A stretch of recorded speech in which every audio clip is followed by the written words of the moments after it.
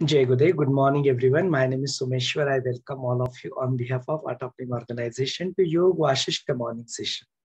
नमस्ते मैं सोमेश्वर आप सभी का लिंक संस्था की तरफ़ से योग वाशिष्ठ के सुबह के सत्र में स्वागत करता हूँ रोज की तरह आज के सत्र की भी शुरुआत हम लोग तीन बार ओमकार का उच्चारण करके करेंगे will begin our session by chanting Om three times अपना विषय है today we are on 148 chapter 140 number के चैप्टर पे हम लोग यहाँ पे पहुँच चुके हैं। आज से एक नई कथा कुंद दंत कदम्ब तापस, इनकी सुंदर कथा यहाँ पे प्रस्तुत होने वाली इस कथा का जो एक अलग ही भाव है, जो अब तक हम लोग देख रहे थे वशिष्ठ मुनि प्रभु रामचंद्र जी को कथा के माध्यम से कुछ सुना रहे थे यहाँ पे अभी। प्रभु रामचंद्र जी ही एक कथा सुनाते हैं और फिर उसके ऊपर कुछ प्रश्न वहाँ पे प्रस्तुत करते हैं। ऐसी है कुंदंत की और कदम तापस की यहाँ पे कथा। तो उस कथा को भी हम लोग देखेंगे। हंड्रेड एंड फोर्टी नंबर का चैप्टर और hundred and forty one number का चैप्टर ये दो चैप्टर है। इन दो चैप्टर को आज हम लोग यहाँ पे कवर करेंगे। मैं आशा करता हूँ एक सौ चालीस, एक सौ इकतालीस नंबर का जो चैप्टर है, वो आपने पढ़ लिया होगा। उससे एसोसिएटेड जो वीडियो जो है, वो 155 नंबर का जो वीडियो है, हिंदी और इंग्लिश दोनों भी यूट्यूब के ऊपर अवेलेबल है। यह प्रश्नोत्तर का सत्र का वीडियो जब अपलोड होगा तो इसके डिस्क्रिप्शन में इनके लिंक्स भी आपको मिल जाएगी। तो इट्स अ गुड आइडिया कि ये प्रश्नोत्तर का सत्र आपको ठीक से समझना है। तो आप यह किसी भी बुक से, हिंदी, मराठी, इंग्लिश, आप इसको 140 और 100 इकतालीस नंबर का जो सब चैप्टर है, यदि आपके इसमें चैप्टर नंबर मैच नहीं होता है तो कुंद दंत की जो कथा है, उसको आप पढ़ लेना। और फिर उसके बाद में जो 155 नंबर का जो वीडियो है, उसको देख के यदि आप इस सत्र को देखते तो आपके लिए ज़्यादा लाभदायक रहेगा। चलिए सत्र को आगे बढ़ाने से पहले तीन बार ओंकार का उच्चारण कर लेते सब लोग आराम से बैठ जाए, रीढ़ की हड्डी सीधी कर ले, गर्दन सीधी कर ले, कंधों को ढीला छोड़ दे चेहरे पे एक हल्की सी मुस्कान ले आए। अंदर तृप्ति का भाव, समाधान का भाव ले आए।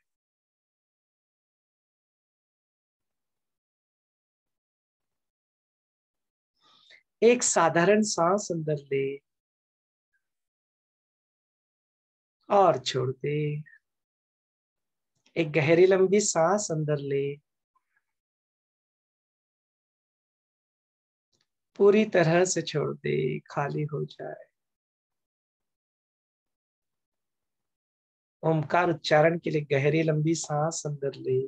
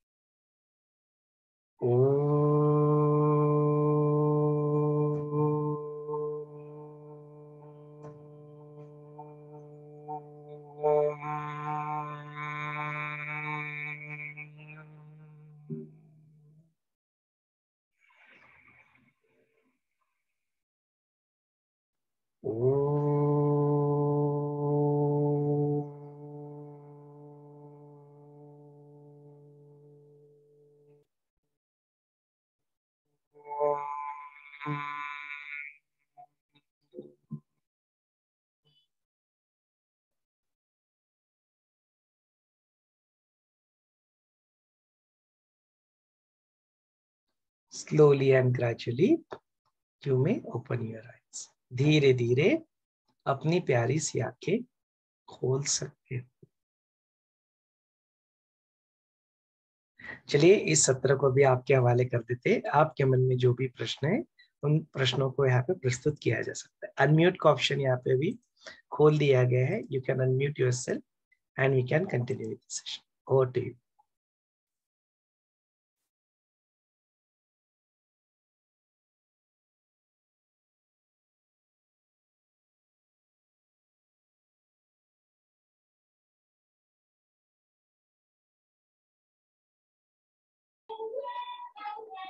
जय गुरुदेव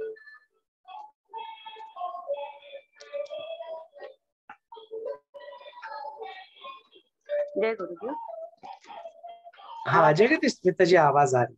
आ रही है। हाँ हाँ बोलिए। ये जो चैप्टर है ला कुंद दंताची कथा ने कथा जो देख रहे हैं इसमें से अभी शायद ये लास्ट वाली कथा है पर इसमें से तो एकदम अलग ही कौन किसको बता रहा है समझ में आ जाता है। अब तक जो बता रहे थे आज इस कथा के आखिरी में बताया तो एकदम ही नया लगा। तो इसमें बहुत सुंदर सुंदर प्रश्न भी है और बहुत सुंदर नए नए आयाम भी पता चले है। बहुत सारा कुछ नया नया लग रहा है। तो इसमें कुछ कुछ थोड़ा सा एक्सप्लेन करके देना। तो पहले तो ये राम जी बोलते वशिष्ठ मुनि को, हे भगवान, जिस प्रकार सूर्य सब प्रकाश से पूरा अंधार नष्ट कर देता है और सब वस्तु हमको दिखने लगते है। उसी प्रकार मेरी जो जिज्ञासा है उसके निराकरण करके मुझे उस उसमें एक तत्व मुझे स्पष्ट करके बताइए।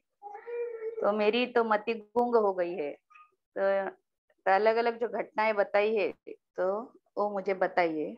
तो मेरी जिज्ञासा जो है तो बढ़ती जा रही है तो उसका निराकरण मुझे करके दीजिए, बताइए, उसमें कि नीचे उसमें तत्व क्या है? कौन सा तत्व है, वो मुझे स्पष्ट करके बताइए। और यहाँ कुंद दंता की कथा में से हमको इसमें से क्या सीखने को मिलता है, इस कथा से हमें इसमें से क्या लेना चाहिए? जो भी कथा है, उसमें से हमको कुछ ना कुछ सीख मिलती है, मॉरल है, और जो चित्त है, हमको जो परब्रह्म हम बोलते तो इसमें से हमको क्या लेना है? ये बताना ये स्टोरी के माध्यम से।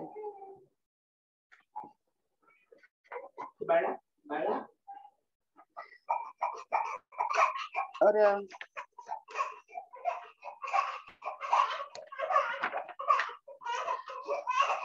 यहाँ वो कथा में आता है कि आ, वो वो कुंददंत भी तपश्चर्या करता है और उनको कुछ कुछ अनुभव आता है, उनकी पत्नियाँ भी करती है। तो इसमें बहुत अलग अलग लगता है कि ये कैसे होता है की ही शपथ तर दीपात्मक पृथ्वी एकच आहे, तेव्हा एकाच वेळी आठ जण तिच्यावर राज्य कसे करणार? जो चार, आठ भाई रहते तो पृथ्वी तो एक ही है भूमि. तो ये लोग एक साथ कैसे रहेंगे? और और ऐसे पढ़ते पढ़ते तो बहुत, और और क्यूरियासिटी बढ़ती गई बढ़ती गई। और यहाँ जो बताया है 141 चॅप्टर में वर आणि शाप यांच्यातील फरक जो सांगितलाय खूपच सुंदर आहे ते समजले नाही मी वाचलं दोनदा पण नाही समजलं. वर आणि शाप यांच्यातील फरक. इथे कसा स्पष्ट केला उसको एक्सप्लेन कर देना. वर और शाप. हिंदी में क्या बोलते पता नहीं. उनका संवाद भी दिया है, वर और शाप का। हाँ। यहाँ इतना संवाद होता है कि उनके युद्ध हो जैसी परिस्थिति आ जाती है पर वो उनका कैसे फिर उसका निराकरण होता है, बहुत अच्छे से दिया है इसमें। मुझे तो पूरा नहीं समझा। उसके बाद एक प्रश्न है।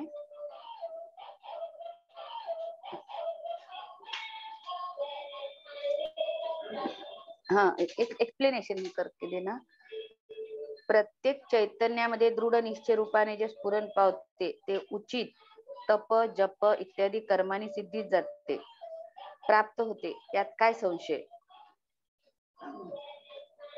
तर या वाक्याचं थोडं एक्सप्लेनेशन करा. कुठे रेफरन्स तो? Seven five nine page number. अद्भुत चिदनूच्या वरती आत्म्याचे शून्यत्व एकत्व आणि नानात्वच्या वरचा वरती ओळ आहे. वाचा ते थोडस एक पॅरेग्राफ प्रत्येक चैतन्यामध्ये दृढ निश्चय रूपाने जे स्फुरण पावते ते उचित तप जप इत्यादी कर्मांनी सिद्धीत जाते प्राप्त होते. यात काय संशय? असं म्हटलेलं आहे. और संस्कृत श्लोक के नीचे है अद्भुत चित्र हाँ, हाँ, के ऊपर। हाँ हाँ देखिए। हाँ उसका एक्सप्लेन कर देना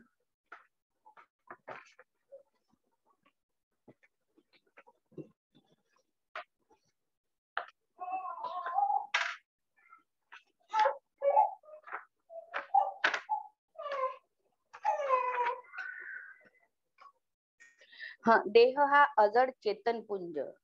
आम्ही खूप देहाला पकडू नये पण हा देह सुद्धा अजड चेतन पुंज जे सांगितलेला आहे वशिष्ठ मुनीने तो उसके बारे में एक्सप्लेन कर देना देह हा अजड चेतन पुंज. Page number seven sixty two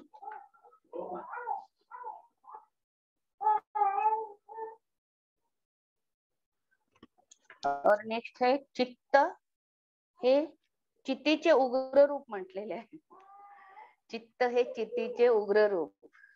तर यहाँ राम जी प्रश्न पूछते हैं देव भगवान म्हणजे वशिष्ठ मुनी को भगवान बोलते देव असुर इत्यादी भेदाने चित्त तत्वाचे प्रमाण व रचना काय आहे?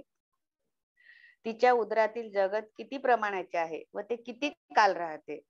तर इन प्रश्नों का उत्तर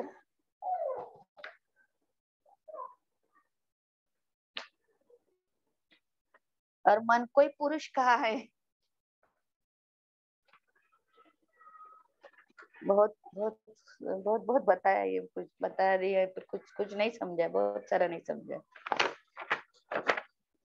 मन है, मन ही पुरुष है, इसका एक्सप्लेन करना। और उसके ऊपर मन पुरुषच्या वरचा जो पॅरा आहे ना तिथे त्या वाक्याचं थोडं एक्सप्लेनेशन द्याल संसाराचे दुस्सह दुःख सोसावे लागते. या समष्टी आत्म्याच्या ब्रह्मदेवाच्या स्वरूपात सर्व भुवनांच्या वृद्धी सर्व सामग्री राहतात. त्या ब्रह्मांडादी कल्पनेने जेव्हा बाहेर पडतात तेव्हा सर्ग होतो. हे चित्त हे चित्तीचे उग्ररूप यामध्येच आहे.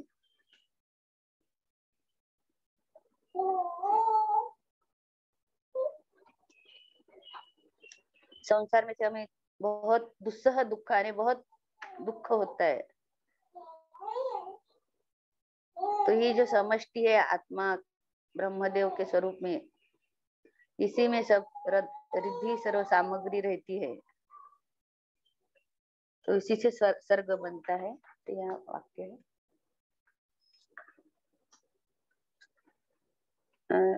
लास्ट में जो भ्रम है, हो रहा है तो भ्रम की शांति होने के लिए क्या करना चाहिए?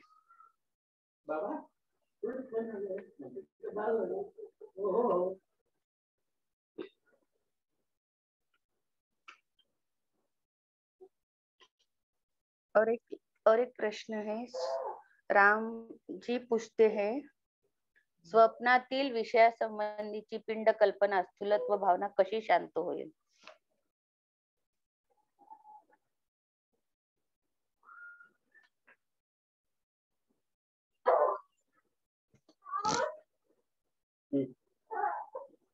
आखिरी का प्रश्न कहाँ पे है? Page number seven sixty four last line रामने रामाने विचारले तर मग काय? एवढे झाल्याने सर्वांचे दुःख दूर होईल?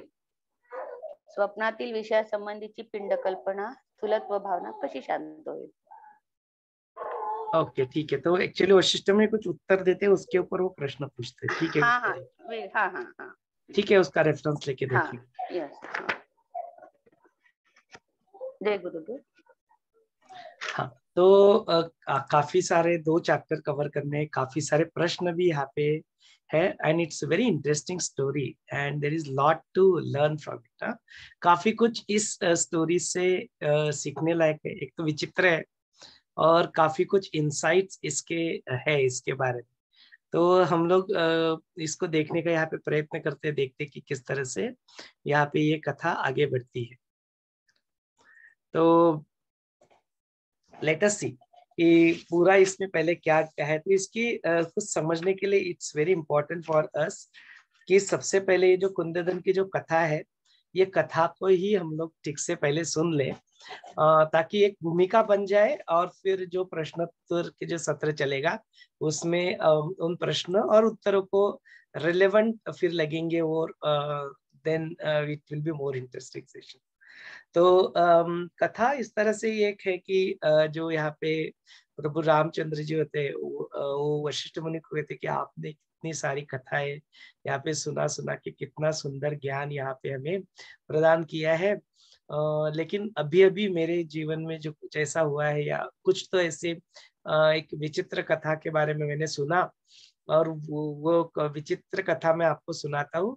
कृपा करके उसका एनालिसिस करके मुझे बताए कि विचित्र कथा एंड उसके मॉरल ऑफ़ द स्टोरी और ऐसे सब कुछ ये क्या है। बड़ी ही उलझने यह सुन के मेरे मन में उत्पन्न हुई है। कृपा इन सारी उलझनों को भी आप फिर धीरे धीरे करके सारी उलझनों को सुलझाए। तो बोलते इस तरह से ये हुआ। ऐसे जब मैं अपने अभ्यासिका चल रही थी तो अपने विद्वत्ता सभा में एकाग्र चित्त से शास्त्र की चर्चा सुन रहा था, तभी अचानक वहाँ पे एक तापस प्रविष्ट हुआ। और उस जो तापस प्रविष्ट हुआ तो उसके विदेह देश से वो आया, ऐसे उसने बताया। तो फिर वो उनके बीच में और प्रभु रामचंद्र जी के बीच में वार्तालाप चलता रहता है। और फिर जो तापस वहाँ पे जो आया है, वो उनको एक वहाँ पे कथा सुनाता है। कथा मैंने आत्मकथा, खुद के बारे में वो बताते रहता है। तो कथा वहाँ पे सुनाता है। तो बोलते जो हे राजन मैं जो हूँ ये विदेह नाम का एक तेजस्वी देश है।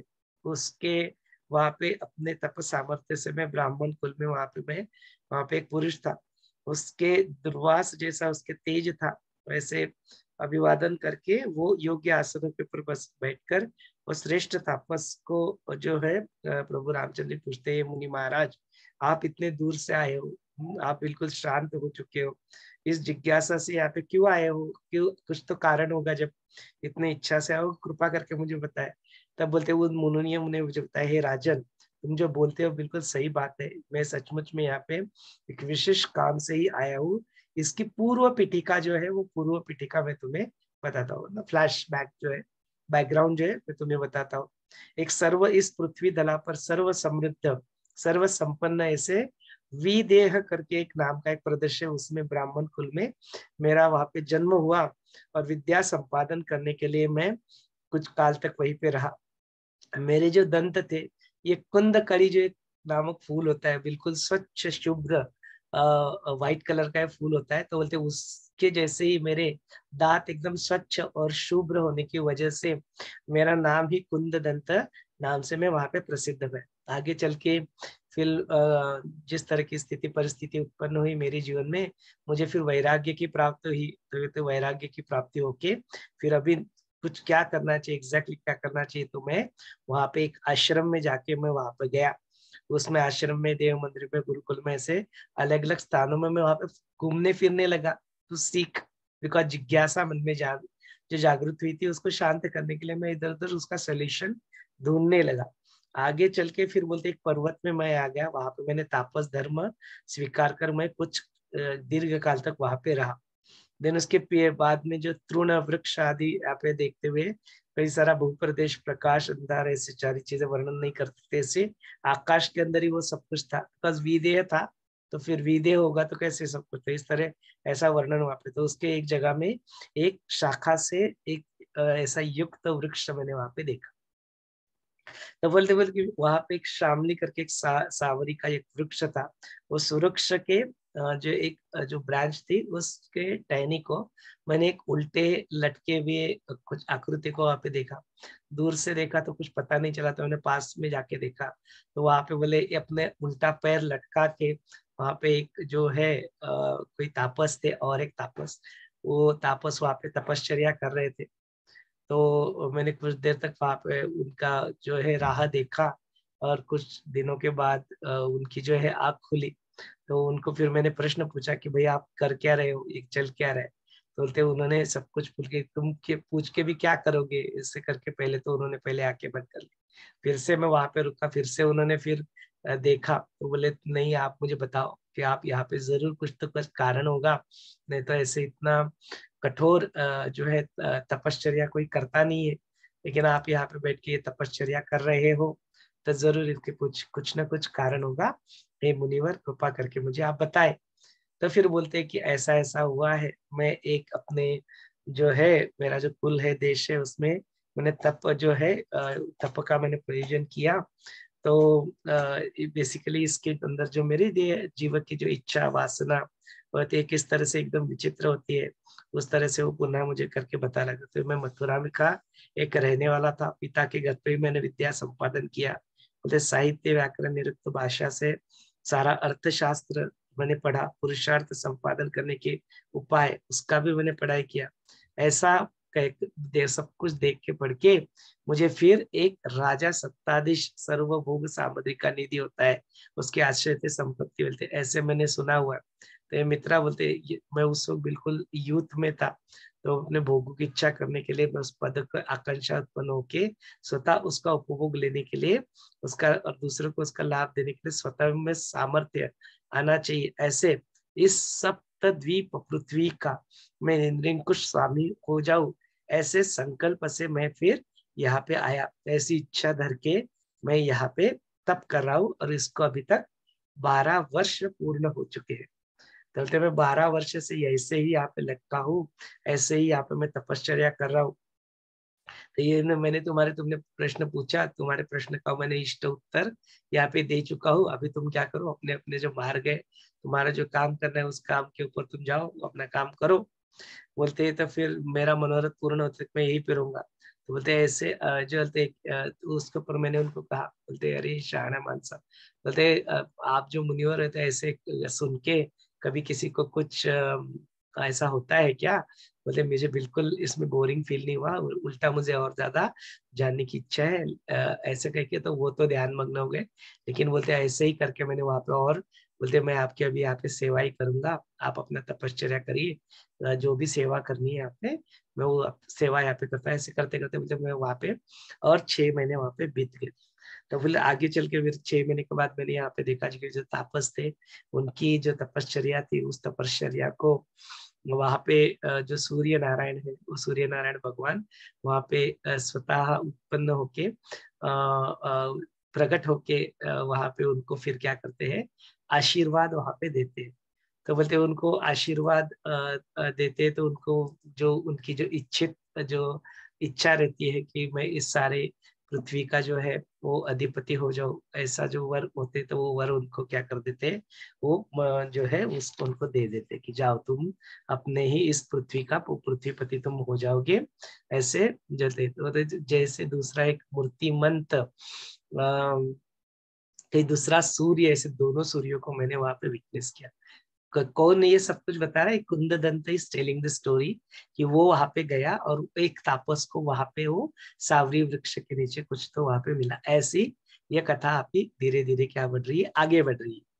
तो बोलते उसके बाद में उस शाखा से जो तपस्या था, सम्मति से मैंने उसका पाए फिर छुड़ाया और फिर वो नीचे उतरा। फिर स्नान संध्या दे करके उस पुण्य वृक्ष की फले खा के व्रत पूर्ण करके तीन दिन तक फिर वो हम लोग वही शांत चित्त से उधर रहे, इधर उधर फिर घूमने लगे। फिर उसके बाद में आनंद से, चित्त से जाते कई सारा रास्ता पार के सुंदर वनराजी, शीतल जल स्तिग्न छाया से युक्त प्रदेश को पार करते करते हम लोग एक वन प्रदेश में वहाँ पे आके वहाँ पे पहुँचे। तो वहाँ पे फिर हमको एक देवी गौरी का वहाँ पे एक आश्रम मिला। तो से सबने कहा कि यहाँ पे देवी गौरी का आश्रम है। तो बोलते उस देवी गौरव के आश्रम में जाने के लिए हमने फिर वहाँ पे प्रवेश किया। वहाँ पे फिर हमने सब कुछ इधर उधर ढूंढा तो कोई कुछ, कहीं पे कुछ भी नहीं मिला।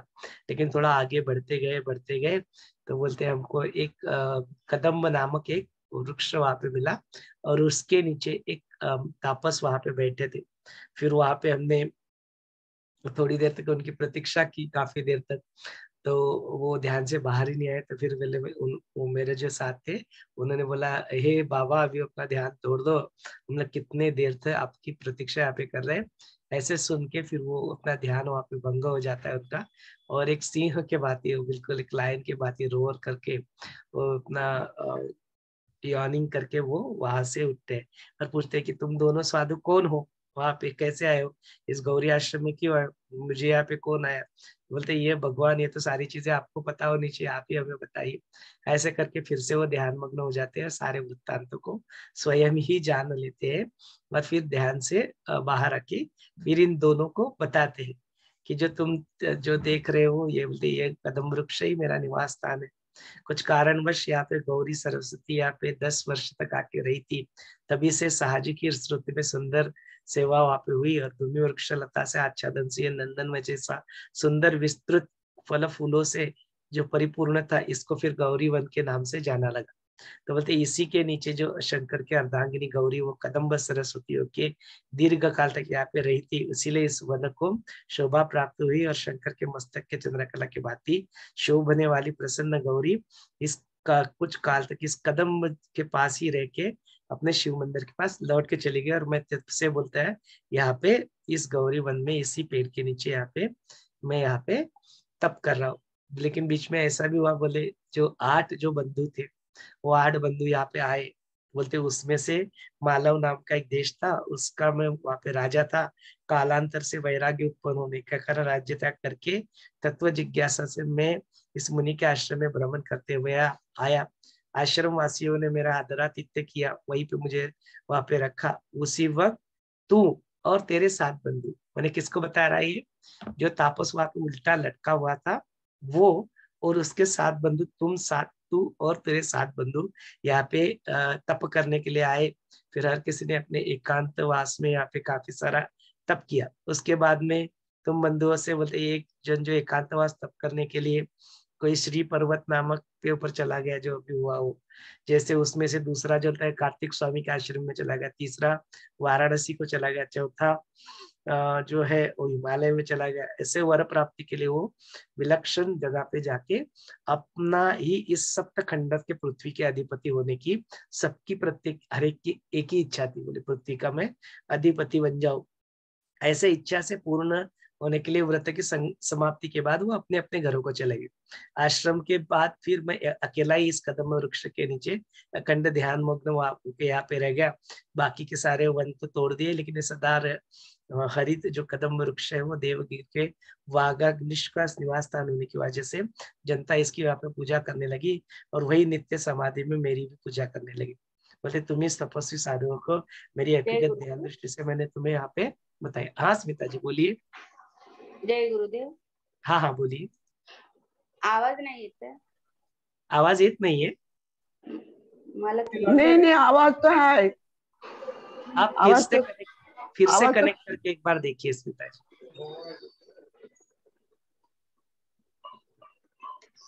हाँ तो फिर वहाँ पे तो वो कहते कि ऐसे इस तरह से जो इस तरह से जो आप यहाँ पे रहते हैं तो बोलते ऐसे सात बंधु वहाँ पे आए। फिर मतलब उनकी भी इच्छा भी देखो, बोलते तुम और तुम्हारे सात बंधु आठों की एक ही इच्छा थी कि वो पृथ्वी के अधिपति बोल जाए। ऐसे फिर कर, करके वो ले ले मैं यहाँ पे रुका। फिर वो जिस तरह से मेरी भी वहाँ पे लोग पूजा करने लगे और गौरी की भी वहाँ पे पूजा करते थे। इस तरह से उनकी पुण्य प्रभाव से ये सारा जो है मैंने तुम्हें अभी कथा बताया, अभी तुम भी उठो, अपने अपने मार्ग में क्रमण करो, मैं भी अपना फिर से ध्यानस्थ पे हो जाता हूँ। तो बोलते आगे चल के फिर क्या हुआ? तो बोलते जो तापस की जो पत्नी है, उनको भी वृत्ति तो उस तपस्वी पुरुष का जो बोलना के, मुझे बड़ा विस्मय लगा। मैंने उसको पचा कि सप्तपदित्मक ये पृथ्वी है, ये तो एट ए टाइम एक ही है, लेकिन फिर वो जो है, उसके ऊपर आठ जन राज्य कैसे करेंगे? इसके ऊपर वो कदम तापस का ये तो बोले तुम जो है तो ये तो कुछ भी नहीं बोले लेकिन आगे की जो कथा है वो इससे भी ज़्यादा विस्मय कारक है तो उसमें और भी ज़्यादा आश्चर्य भरा हुआ है। लेकिन बोलते ये जो सारे आठ के चार जो है वो जो सा, सात के साथ जो रिटर्न जब जाने लगे तो उसके पहले जब वो वहाँ पे तपस करने के लिए आए तो बोलते उनकी पत्नियों ने भी वहाँ पे क्या किया तपश्चर्या की। और उनकी तपश्चर्या में उन्होंने भी अपने फल स्वरूप एक वर प्राप्त किया जो अपने अपने जो पति है, वो उनके साथ रहे और उनके मरणोपरांत भी वो उस घर को छोड़ के ना जा पाए। जैसे लीला सरस्वती जो होती है, उसमें जो लीलावती जो होती है, वो पद्म राजा के लिए जिस तरह से तपश्चर्या करती है सेम तपश्चर्या अरुंधति भी वशिष्ठ के लिए करती है।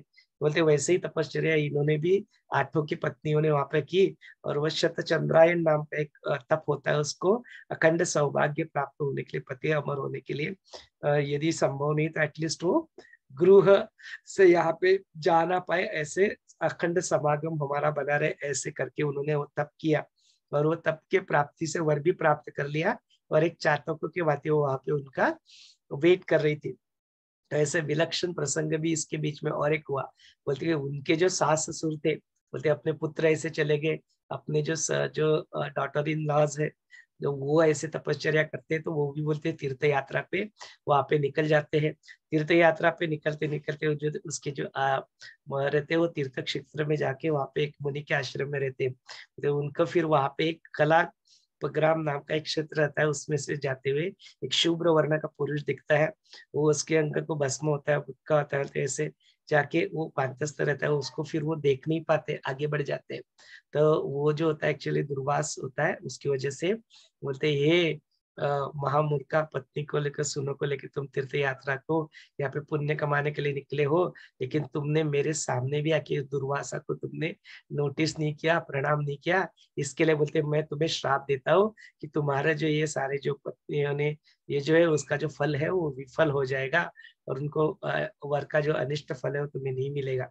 कहते ऐसे संताप से दुर्वासा उसकी क्षमा मानने से पहले वहाँ से डिसअपियर भी हो जाते हैं। तो बोलते ऐसे सब कुछ यहाँ पे होता है। तो बोलते ऐसे विसंगत, मैंने देखो कैसे कितना विसंगत है। एक, जो आठ लोग हैं, उन्होंने अपने जीवन में पृथ्वी का अधिपति होने के लिए ये किया और वो वर प्राप्त कर लिया। तो अभी उनको आठों को पृथ्वी का अधिपति बनना है। उनकी पत्नियों ने तपश्चर्या करके ऐसा वर प्राप्त कर लिया कि वो कभी अपने घर को छोड़ के ही ना जा पाए। वैसा उन्होंने वर प्राप्त किया। तीसरा वह जो श्राप था, वो जो दुर्वासा उन्होंने उनको श्राप दे दिया कि तुम्हारे सारे जो जो ये है, फल उनको वर है तो उसके फल तुम्हें मिलेंगे नहीं। ये शराब वहाँ पे हो गया। अभी ये सारी चीज़ें कितनी, देखो कैसे विचित्र, चित्र, विचित्र होते जा रही तो बोलते अभी इसके बाद में फिर क्या होगा? कैसे होगा? कुछ पता नहीं। तो बोलते इसके लिए फिर जो होता है, आगे चल के बोलते ये सुनो। तो बोलते ये सारे प्रश्न भी वहाँ पे उठते हैं फिर। तो वो वो पूछते कि भगवान, ये आठ ही लोग कैसे सप्त द्वीप पृथ्वी के जो स्वामी बन गए? जो बोलते पत्नी के वरों के फिर बाहर ही जानना नहीं चाहिए तो फिर वो राजा दिग्विजय कैसे होगा? ऐसे इष्ट देव से वर जो मिला दुर्वासा के शाप से कैसे विरुद्ध होंगे? मतलब ऐसे परस्पर विद्ध धर्म होने वाले ऐसे कार्य कैसे करेंगे? तो उसके ऊपर वो कदम तापस पर अरे तुम सुनते रहो, आगे तो बड़ी मज़ा है। इसका जो अगला और इंटरेस्टिंग पार्ट है वो आगे चल के वो तुम्हें सुनने को मिलेगा। हम्म, उसको तुम सुनो। तो बोलते यह वर और शाप का जो इनका बीच में क्या होता है कल होता है। तो बोलते हे ऐसे रामा जो गौरी आश्रम में जो कदम तापस है और जो पृथ्वी के जो अधिपति होने का वर प्राप्त करने वाले जो आठ बंधु है उन उनकी जो हकीकत है वो आगे चल के बताता है। हुँ? तो अभी ये सारे जो बंधु होते हैं बोले मथुरा में अपने अपने घर पे ये लौट के आ जाते हैं संबंधियों के साथ। कुछ काल तक सुख से वहाँ पे रहते हैं और उसके बाद में उनकी मृत्यु भी हो जाती है। लेकिन बोलते उसकी मृत्यु के बाद भी उनका जीवात्मा जो है मूर्छित अवस्था में वहीं पे वो सोते रहते हैं, कुछ काल तक वही रहते हैं और फिर उसके बाद में उनके साथ क्या होता है, वो वहाँ पे बताए। तो बोलते जो कुछ जो लोग होते हैं, वो कुछ अपना जो वर वाले देने वाले जो देवता रहते उसके यहाँ उसके प्रभाव से वो वर के रूप में वहाँ पे बन जाते हैं, वैसे कर्म फल देने वाले। चित्तवांतित आकाश में एकत्र आके उन कर्मों के अधिष्ठानों को लेके उनके इष्ट देव और कर्म फलों को अनुकूल प्राथमिक देहाकार सूक्ष्म शरीर रूप से वो धारण कर लेते हैं।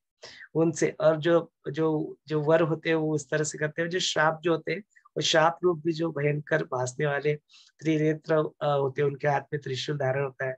नील मेघ के तरह उनका रंग काला आता है। उनके दो हाथ होते हैं, उसकी भुआ आती है, उससे वो क्रोध से ऊपर चढ़ी होती है, ऐसे भयंकर दिखने वाले। मैंने दोनों का एक ऐसे अलग अलग स्वरूप वहाँ पे वर्णन किया है। बोलते वो वर और श्राप फिर क्या होते हैं, एक दूसरे के सामने आ जाते हैं और दोनों में ही टकराव हो जाता है कि अभी कौन जीतेगा, क्या जीतेगा। तो जो क्रोध में जो रहते हैं, श्राप बोलते हैं, अभी तुम करो, नहीं तो तुम्हारा लोग यहाँ पे तुम्हारा वध कर देंगे। तो जो वर होते हैं, थोड़ा सेंसेस में रहते हैं, वो बोलते हैं कि ये सब कुछ करके क्या मिलेगा? बोलते उससे तो अच्छा देख के हम लोग क्या करते हैं, जो ब्रह्मदेव है, उन्हीं के पास वहाँ पे चले जाते हैं। बिना किसी विलंब के वही हमें सिर्फ़ सही, अच्छे से गाइडेंस करेंगे। जब वो वहाँ पे ब्रह्मदेव के पास जो निर्णय करेंगे, वो करेंगे। तो जब ब्रह्मदेव के पास जाते हैं तो उनको ब्रह्मदेव पूछते हैं कि तुमने से जो अंतस्तार जो है वही, उसी का विजय होगा। तो तुम जाके अपने अंतस्तार को ढूंढो। इसीलिए उन्हें श्रद्धा पूर्वक जो शास्त्रों का नियम पालन करके, जो दृढ़ अभ्यास करके, इच्छित वस्तु के ऊपर एकाग्र बुद्धि लगाता है, उसके अनुसार अनुकूल आचरण करता है, वही उसका अंतसार होता है। इसीलिए कार्यकारी जो है, उसका फल देने में वो समर्थ होता है। इसके तरह इसे प्रसंगी गोष्ठी जो है बाकी की सारी जो um, कुछ इन बिटवीन कुछ प्रॉब्लम्स भी ऑब्स्टेकल्स भी क्रिएट होते हैं तो बोलते हैं गौण होते हैं वो पीछे चढ़ते हैं आखिरी में जो अंतसार है वही जीतता है इसलिए तुम दोनों में अंतसार कौन जो है उसको तुम जाके ढूंढ ढूंढो अपने मन के अंदर ऐसा विचार करके ढूंढो। इसके ऊपर जो संवित संकल्प रूप होते हैं दोनों से परस्पर अंतरंग जानने के लिए वो सत्य जानने के लिए दो होता है। तो शाप कहता है कि मैंने ये प्रजानाथ इसमें मैंने जाके अपने अंतसार को ढूंढा तो बोलते वो अंतसार मुझे कुछ मिला नहीं बिकॉज़ उसका कुछ अस्तित्व नहीं होता। इसलिए प्रजानाथ, हमारा पराभव हुआ है। हमारा कोई अंतसार नहीं है। इसलिए ये वर ही अंतसार है। इसलिए, वर की जो इच्छा है, वही उसको जो इच्छित वर है, वो उनको मिले और दीर्घ काल तक वही संकल्प करते रहे। उस संकल्प को धर के शास्त्र के विचारों के अनुसार जो तप करते हैं, उस तप से प्रसन्न होके, वश होके जो देने वाली देवता होते वो प्रदान करते रहते बोलते ऐसा वर दिया, उसी रीति से होने वाली जो संविद होती है, उसी के वर, मांगने वाला मैं ये वर मिला, ऐसे रूप से रहता है। इसके अलावा वर और शाप जो प्रथम प्राप्त हुआ, उसका प्राबल्य अधिक होता है, इसलिए वहाँ पे वर का ही दृढ़त्व है, इस तरह से वो चर्चा में कंक्लूड करते हैं। संविध दीर्घ काल तक जो चीज़ का जो अभ्यास करते रहता है, वही उसका तत्काल सार बन जाता है। इससे ही विकल्प रहित शुद्ध संकल्प से जो शक्ति और जो तेज उत्पन्न होता है, वही संवित सार होता है।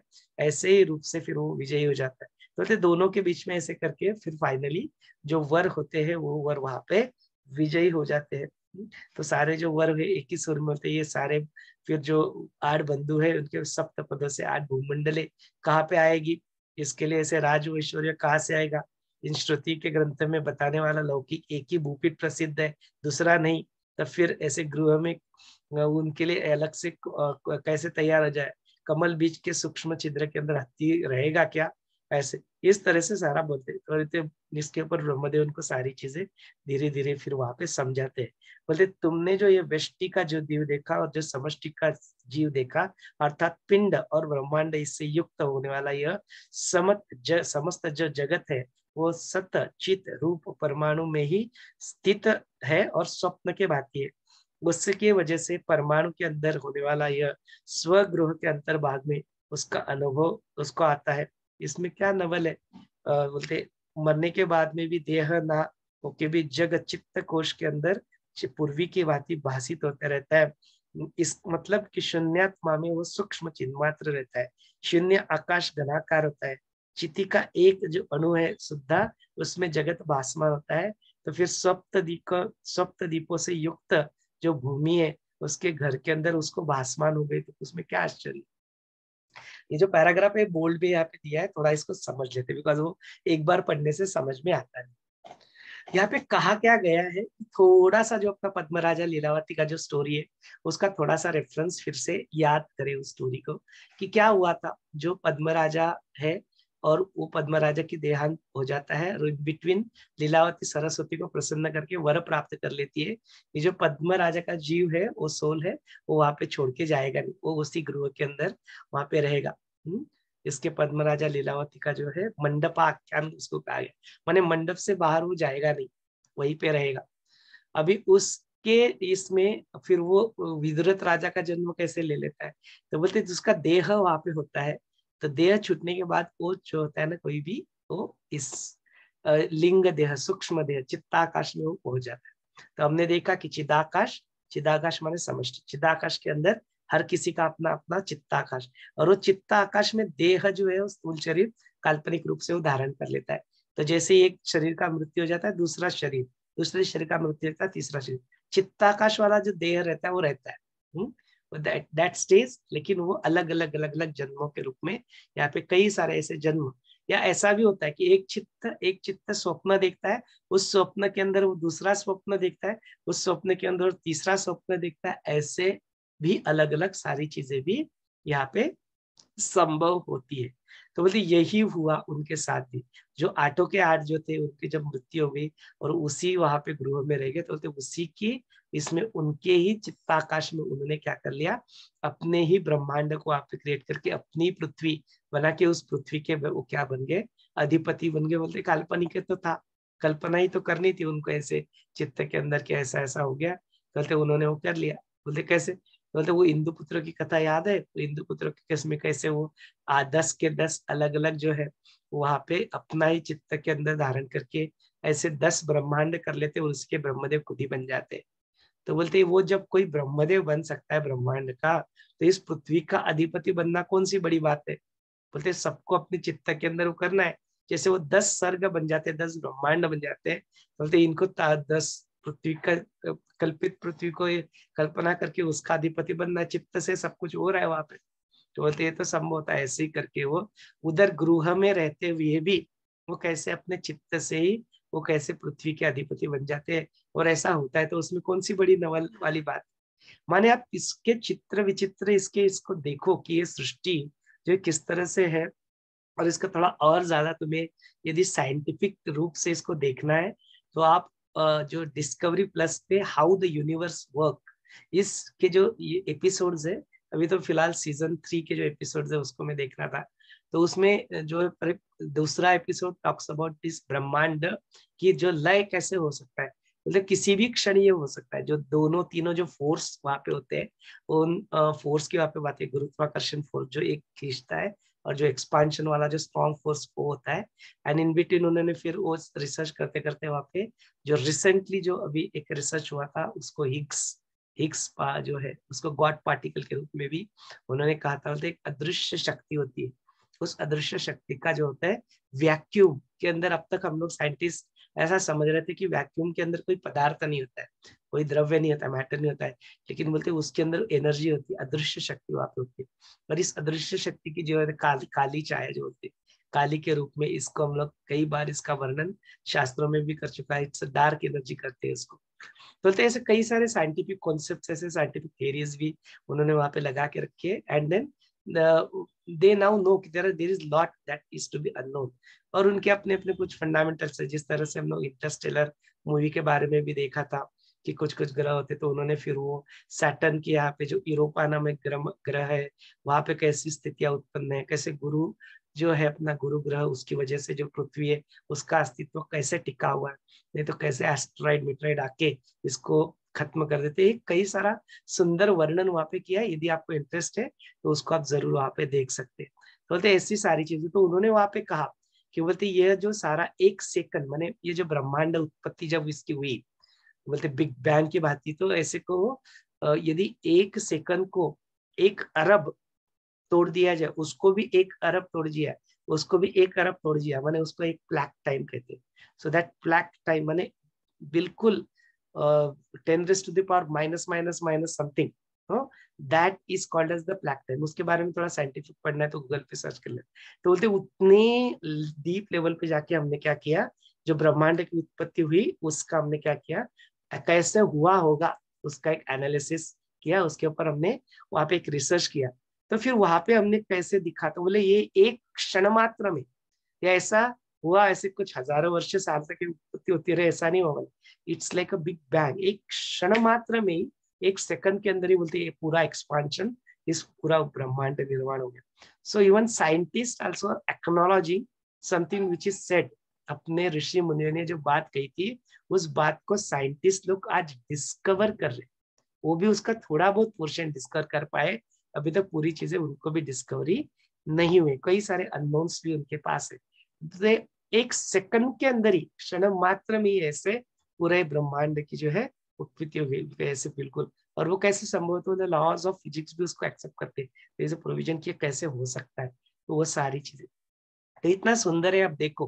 तो बोले, इसी चीज़ को यदि देखते तो ऐसे ही क्षण मात्र में यहाँ पे बताते तो चित्त के अंदर ही उनको निर्माण करना होता है तो उसके लिए ऐसा हो गया तो उसमें क्या नवल है बोलते इस तरह से जो है कदम बतापस है उनको उसको, उनको बताते कि क्या नवल है।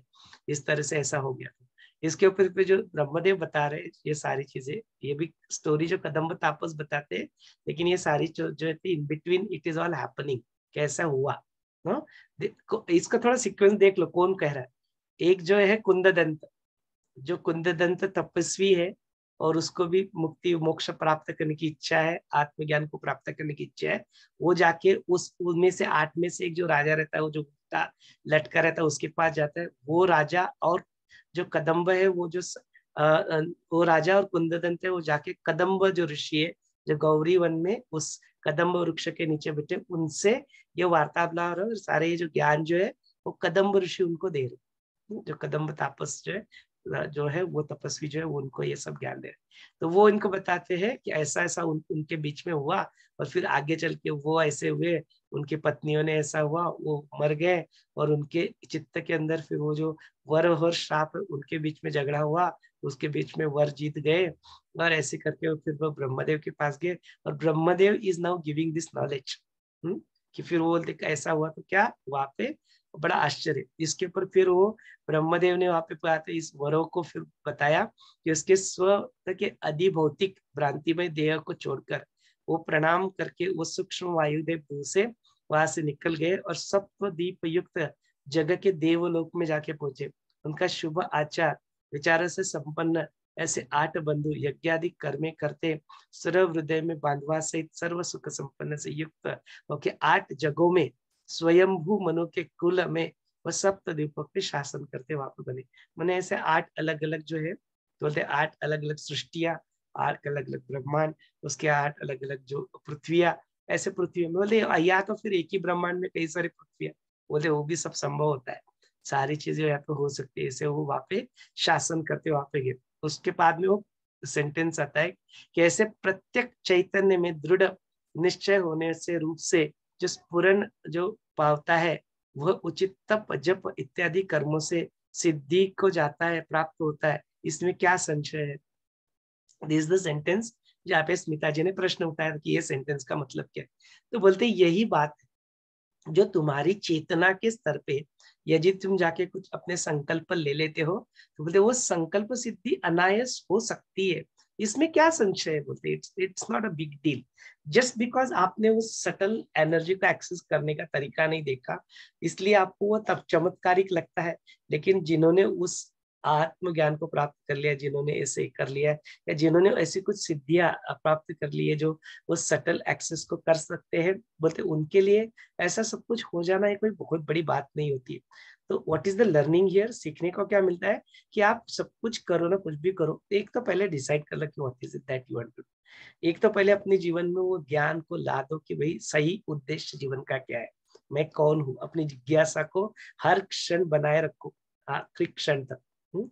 उसके बाद में जो अपने योगा, प्राणायाम मेडिटेशन सुदर्शन क्रिया जो गुरु ने दिए हुए सारे जो वचन है, बोले उनके अपने जीवन में फॉलो करो। योग वशिष्ठ जैसे ज्ञान को अपने जीवन में लाओ। एंड देन उसके बाद में अपने प्रारब्ध को करते करते, जो भी प्रारब्ध आपको करने कुछ भी हो, गृहिणी हो बिज़नेस करना हो जॉब करना हो स्पोर्ट्समैन बनना म्यूजिशियन संन्यास लेना है, कुछ योगा टीचर क्या बनना है, कुछ भी एनीथिंग जो आपने डिसाइड किया वो वो करो। एंड देन उसके बाद में फिर क्या करो? चेतना के स्तर पे, जो हमने संयम की भी जो बात करती टोटल फुल अटेंशन ध्यान, धारणा भी उसी चीज़ की कि मैं वैसे बन गया, वैसे देखो खुद को। धारणा भी उसी चीज़ की फोकस भी हंड्रेड परसेंट अटेंशन भी उसी के ऊपर, और देन उसी के अंदर ध्यान, उसी के अंदर बीच बीच में अपना समाधि की अवस्था भी कि मैं वो जो हूँ, वो सुख, समाधान, तृप्ति जो है मेरी जीवन में मुझे ऑलरेडी मिल चुका है। ऐसे समाधान में रह के, बोलते अपने सारे कार्य को अपना शत प्रतिशत हंड्रेड परसेंट देके उसके पीछे हाथ धो के लग जाओ। कोई वासना ही नहीं, कुछ नहीं अंदर, लेकिन ये just giving your hundred percent to fulfill that प्रारब्ध because you have decided to walk on that path तो संन्यास लिया है तो संन्यास केस में गृहस्थाश्रम में तो गृहस्थाश्रम बिज़नेस जो जो भी प्रारब्ध से कार्य करते हो उसको हंड्रेड परसेंट देने में आप लग जाओ, जुट जाओ। इस तरह से तो फिर ऐसा यदि कोई इंसान करता है बोले, इस लेवल पे जाके वो सारी चीज़ों को करता है तो बोले असंभव इस दुनिया में क्या है? बोलते, इस दुनिया में कुछ भी असंभव नहीं है।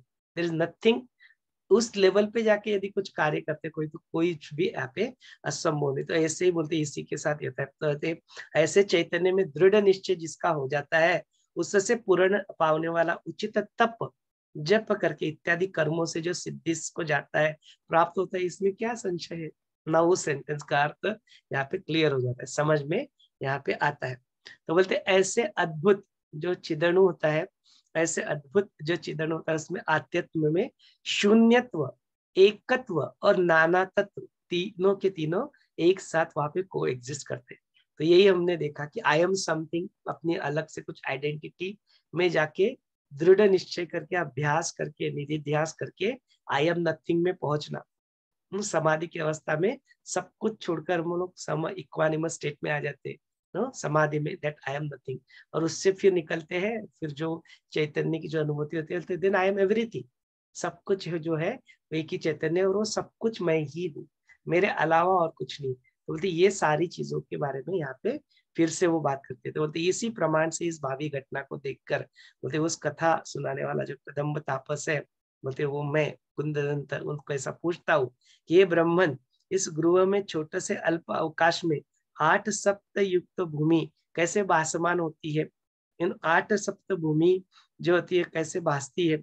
उसमें जो सर्व व्यवहार जो होते हैं, वो कैसे लगता है कि वो सच्ची है? उसमें जो बुद्धिमान लोग होते हैं, वो कैसे फिर रमते हैं इसमें? तो यह जो है पजल जो ये जो कोड़ा है ये पजल मुझे अभी तक समझ में नहीं आया। उसके ऊपर जो कदम बता कहते हैं, अरे, यह जो चिद धातु है, सारभूत मूल द्रव्य है ये ऐसे ही अद्भुत है। चिद व्योम में आकाश रूप होके ये शून्य के जैसे त्रैलोक्य रूप से सर्वव्यापी सर्वस्वतः का जो असंग करके अविकारी रूप में न छोड़ते हुए उस वस्तु को रूप से भाषमान व्यक्त होता है या अव्यक्त होता है दोनों ही खुद ही बन के रहता है। लेकिन वह स्वतः शून्य रूप से उसको देखता है और अनुभव होता है। बोलते सिर्फ़ वह एक साक्षी दृष्टि से खुद बन के भी उसको एक साक्षी दृष्टि से देखता है, मैंने उसमें वो एंटेंगल नहीं होता है, उसमें कुछ नहीं होता है। इसके ऊपर फिर मैंने कुंद बोलता है, इसके ऊपर मैंने फिर से प्रश्न पूछा कि वो निराकार, शून्यत्व, अव्यक्त में एकत्व और पदार्थ भेद रूप से दिखने वाला, ये अनुभव लेने वाला नानात्व, ये एक ही रूप है, ऐसा कैसे? तो उसमें निराकार, शून्यत्व है और ये आखिरकार सत्य है। ऐसे परस्पर विरोधी चीज़ें यहाँ पे कैसे एक ही साथ सिद्ध हो सकती है? तो बोलते इसी के ऊपर जो अध्यात्म शास्त्र का निर्णय, यहाँ पे जो कदम आपस सुनाते हैं, बोलते अरे, ये सारा जो ये शांत चिदाकाशी, बोलते एक ही है, उसमें अंदर दिखने वाले नाना तत्व जो होते हैं, ये जल के भांति जैसे उसके ऊपर तरंग उठता है, असलियत में जल के ऊपर जो वेव्स उठती है, उसका कोई अलग से अस्तित्व है क्या?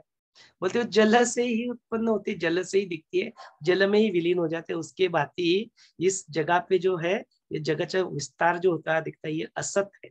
आकारवान पदार्थों में भी पदार्थ रूप से होने के बावजूद भी आश्रय रूप से यदि देखते हैं तो ये सिर्फ़ एक भाषमान चिदाकाश है। इसका मतलब क्या जैसे कोई वहाँ पे बादल है और उन बादलों के बीच में आपने कुछ आकार देख लिया। अभी उसका असलियत में कुछ अस्तित्व है क्या? दिख रहा है भाषित हो रहा है। वो भाषित जो चीज़ है ना बोलते ऐसे ही सारी यहाँ पे जगत में ये सब कुछ चीज़ें ऐसे भाषमान रूप से ही सब कुछ होती रहती है लेकिन वो फिर भी जो भाषित होने के बावजूद भी जब तक तुम उसमें स्वप्न में अटके हो तब तक वो स्वप्न तुम्हें क्या लगता है? बिल्कुल सत्य के भाषित ही वो भाषित लगता है। तुम बिल्कुल लग, स्वप्न में जो है जो अभी तक जागरूक नहीं हुआ उसका स्वप्न नहीं टूटा उसको स्वप्न सच्ची लगता है ना। एक सच के बात ही जीता है वो है ना? स्वप्न के अंदर जो स्पंद युक्त जो हालचाल वहाँ पे होता रहती है वो पदार्थ स्पंद रहित होता है, पर्वत वहाँ पे पर्वत नहीं होता है, कल्पित वस्तु प्राप्त होने वाला जो सदरूप होता है, वो द्रव्य रूप सत्य केवल भासता है, वह केवल चिद भाव और चिदाकारी एक ही जो चित है वो स्वप्न में सेना के बाती लक्षावधि सैन्यों के रूप से जैसे विकसित हो जाती है, विभाजित होती हुई दिखती है, उसी तरह से इस चित्त में ये सारे पदार्थ प्रकट हो जाते हैं। Because hmm? कल्पित ही प्रकट होने तो प्रकट होने में क्या प्रॉब्लम है? प्रकट हो जाते हैं। बोलते ऐसे आत्मा के ठाई जो चिदाकाश है, वही चमकता है। बोलते ये साधकों को, सिद्धों को, ये आत्मा का दोनों कारण से अनुभव आता है।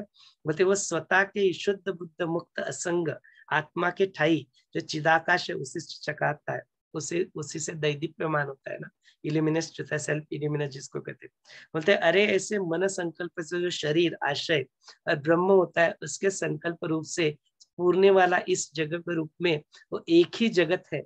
एक ही विचित्र निद्रावस्था में विचित्र सुषुप्त और स्वप्न इसके विरब, विभ्रम निरंतर भाषित होते रहते हैं। चित्त के जल में, सचमुच में विचित्र, सम्मिश्र ऐसा जंगम और स्थावर स्पंद रचना दिखाई देती है। इस आत्मा में हर्ष, क्रोध, विषाद, इसी से उत्पन्न होने वाली स्पंद रचना, उससे उत्पन्न वाली घटनाएँ, स्वप्न के भांति भाषमान होते रहते इस जगत में, जाल में ऐसे प्रसरण पाते रहते ऐसे संकल्प नगर में, जितना कुछ कल्पना तुम कर सकते हो, उतना कल्पना वहाँ तुम्हें ऐसे दिखाई देता है। वही न्याय इस जग को भी अप्लाई होता है। बोलते कोई बहुत ज़्यादा फ़र्क नहीं है तुम्हारे स्वप्न के अंदर, जो स्वप्न नगरी तुम्हें दिखाई देती है और जगत के अंदर ये सारा जगत जो दिखाई देता है। बोलते ए, बिल्कुल एग्जैक्टली उसी मॉडल से यहाँ पे सब कुछ काम करता है।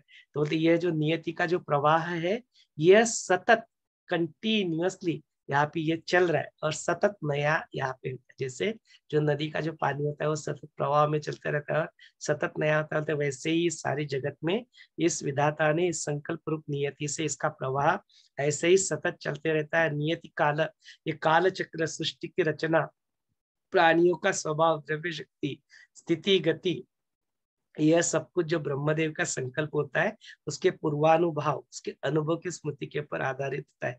ऐसी वचने तुम्हें याद होगी, लेकिन ब्रह्मदेव का इस सृष्टि विषय का जो संकल्प होता है स्मरणाधीन नहीं है। तो यह दिव्य ज्ञान की वजह से, यह भूत भविष्य की घटनाक्रम से, यह वस्तु का दर्शन यहाँ पे होते रहता है। इसलिए सर्व जगत में अपूर्व जो दिखता है, उसके संकल्प अनुसार मानस तरंग कार्यकारी होता है। इसकी जगह पे मैंने ये पूर्वी देखा हुआ है, ऐसा आरोप का भास होता है। स्वप्न कल्पना की जगह पे लगता है, उसके देखने में समर्थ होने वाला जो शुद्ध चित्त है। वो सृष्टि के आरंभ के संकल्प पूर्व में निर्माण करने में कैसे अमरता समर्थ हो सकता है? बोलते उसके लिए सब कुछ वापस संभव होता है। इसलिए वो पूर्वानुभाव जन्य स्मृति की कल्पना करता है, उसका कोई कारण नहीं होता। इसीलिए तत्वज्ञ लोग जो होते हैं, वो गुण दोष के स्मरण ना करते हुए दुख रहित होके जो कुंभार का जो चाक, जो जब तक फिरते रहता है, वैसे प्रकृति के बाती प्रारब्ध के अनुसार जो भ्रमण करते थे निद्रा चुट के जो जाग जाग कर स्वप्न नगरी में जो स्मृति होती है, ऐसे त्रिजगत की स्मृति है, ऐसे ही तुम यह जानो। अरे यह संसार ब्रह्म में कैसे है? ऐसे यदि तुम कुछ पूछोगे तो उसका जो है, वो दृश्य कैसे दिखता है, ये सर्व मैंने तुम्हें जो बताया। तो अहो तपस्वी पुरुष हो अभी तुम जागो। इस भ्रमर प्रभात काल के कमल में जाके बैठने वाला तुम स्वग्रह में सुख से रहो, इसके अंदर इच्छित कर सत्कर्म करते रहो। इतना काल समाधि भंग यदि हो गया है तो बड़े कष्ट से जो टाइम यहाँ पे लग रहा है, उसका विक्षेप परिहार करने के लिए समाधि में तुम प्रवेश करके इसके साथ तुम समाधि में रहो। ऐसा करके जो है कदम तापस होता है, वो ध्यान करने के लिए फिर से अपनी आँखें वहाँ पे बंद करता है। बोलते तुम अभी जाओ, अभी ये करो। तो जो उसके बाद में जो बोलता है कि वो फिर उसको, जो कुंद दंत है, उसका अभी तक वो नहीं होता है तो उसके लिए वो जो है कदम तापस उनको मार्गदर्शन करते हैं, तुम अभी एक काम करो, अभी मेरा ध्यान करने का समय हो चुका है, तुमको ये भी मैं और कुछ चीज़ें बताऊ भी तो वो आत्मदर्शन, वो आत्मज्ञान तुम्हें ऐसे मिलेगा नहीं तो it's a good idea you do one thing तुम क्या करो, वो अयोध्या में वहाँ पे वहाँ पे वशिष्ठ मुनि, वहाँ पे आत्मज्ञान के बारे में, वहाँ पे ब्रह्म ज्ञान वहाँ पे सुनाने वाले हैं। प्रभु तो रामचंद्र जी को तुम भी जाके वहाँ पे सम्मिलित हो जाओ। आत्मज्ञान जो है तुम्हें वहीं पे मिलेगा। और बोलते ऐसे करके फिर मैं वो कुंद दंत बोलता है, मैं वहाँ पे फिर यहाँ पे उस दरबार में यहाँ पे, मैं यहाँ पे जो आ गया और वो जो प्रभु रामचंद्र जी के साथ वार्तालाप हुआ। प्रभु रामचंद्र जी फिर वशिष्ठ मुनि के कहते ये जो सारा कुंद दंत था, जो आत्मज्ञान की जो प्राप्ति करने के लिए इतने सारे सब कुछ इसने कहा, इतना सारा ज्ञान कंदम तापस से अर्जित करने का प्रयत्न किया, बोलते वो तभी भी आत्मज्ञानी नहीं हुआ था वो वही आत्मज्ञान को प्राप्त करने के लिए बोलते हैं। इस अभी सभा में यहाँ पे उपलब्ध है हाथ दिखाता है ऐसे बोलते वो देखो वहाँ पे कुंद दंत वहाँ पे बैठा हुआ है। मानी इतना सारा जो हमने देखा, इतनी सारी जो कथा वहाँ पे सुनने चल रही थी, बोलते उसके अंदर का जो कुंद दंत था, वो कोई और ऐसे काल्पनिक कथा नहीं थी। बोलते वो वहाँ पे उनकी दरबार में वहाँ बैठा होता है और जो वशिष्ठ मुनि की वहाँ पे इस सहारा जो आत्मज्ञान का जो है मार्गदर्शन है, उसको वहाँ पे सुनते रहता है। तो बोलते, फिर वो उसके साथ क्या हुआ? तो बोलते, जो राम बोलते कि कंकण कंकणाला आरसा कशाला देना ना? उसके लिए इतना सब इधर उधर देखने की ज़रूरत है, बोले, सामने ही बैठे तो वशिष्ठ मुनि फिर उनको बोलते हैं, अब तक जो है कुंद दंत तुमने अब तक जो तुम्हारी कथा तो मैंने सुन ली। लेकिन फिर तुम्हारे साथ अभी जो तुमने यहाँ पे जो योग वशिष्ठ के अपने जो सत्र चल रहे थे तो बोलते उसके बारे में सुन के फिर तुम्हें क्या लगा? What is it that you felt तुम अपना अनुभव यहाँ पे बताओ। तो फिर वो उसके ऊपर जो कुंद दंत कहते हैं भगवान, आपका जो वाणी है इतना जो ब्रह्म वाक्य जो आत्मज्ञान की जो ब्रह्म ज्ञान जो आपने यहाँ पे भी प्रदान किया, उसको सुन के मेरे मन से सारे संशय यहाँ पे दूर हो गए। इसके जो विकल्प थे वो बिल्कुल पिघल चुके हैं। निर्मल निरुप्रद और शांत चित्त जो है, वह सारे वृत्तियों का वश करके वो उत्थान जो पा चुका है, जो आत्मदर्शी जो है, सचमुच में जो जानने लायक है, ऐसे चित्त का जो है, उसी का यहाँ पे विजय, उसका कारण होगा ऐसे अखंडित आत्मज्ञान। मुझे प्राप्त हो चुका है। शुद्ध ज्ञातव्य जो है, मैंने जान चुका हूँ। निर्दोष, निरामय, द्रष्टव्य जो था, जो देखना था, वो मैं देख चुका हूँ।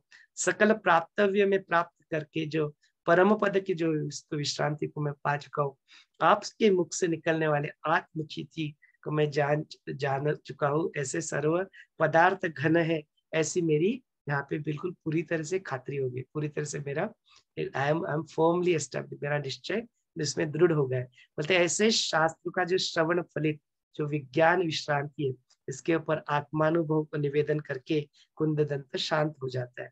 उसके ऊपर स्मित हास्य करके ब्रह्मविद वरिष्ठ सर्वसामान्य जो जो वरिष्ठ वशिष्ठ पे होते हैं वो कहते हैं शास्त्र का श्रवण कर, करके उसके फलित ऐसे विज्ञान शांति अभी कुंद दंत को प्राप्त हो चुकी है। इसी का मतलब है वो महात्मा स्वरूप बन के सचमुच में आत्म साक्षात्कार रूप को, अनुभव सिद्ध ज्ञान इसको अभी हो गया है। हम्म बोलते इट्स सच ओबियस थिंग जो अपने तड़ हाथ के ऊपर यदि कुछ आंवला वहाँ पे रख देता है तो ऐसे ही वो इतना ओबियस होता है, वैसे ही ये विश्व जो है, ये ब्रह्ममय है, ऐसे ही है, ये रामा, ये दृश्य ही पर ब्रह्म है, और ये पर ब्रह्म ही दृश्य है। ऐसे स्वरूप में जो वासनाओं से उसकी तरफ़ शांत, निर्विकार स्वरूप ना छोड़ते हुए उस ब्रह्म में रहते हैं। जल सिंचन से लता जो सहस्त्र शाखाओं में घूमती रहती, पसरती रहती है। बोलते ऐसी अवस्था से संकल्प से माया, शबल संवित से किया जाता है तो फिर तो वही वही अवस्था धारण कर लेती बोलते वो ब्रह्म ही होता है, वो ब्रह्मदेव, वो माया, शबल में आके जो कल्पनाएँ जो करते रहता है, वो उसके चित्त वो ऐसे ही स्वरूप वहाँ पे धारण कर लेता है, भाषित स्वरूप में। हम्म तो बोलते यह जो देह है, ये देह भी एक्चुअली अजेड़ है, ये चेतना पुंजी।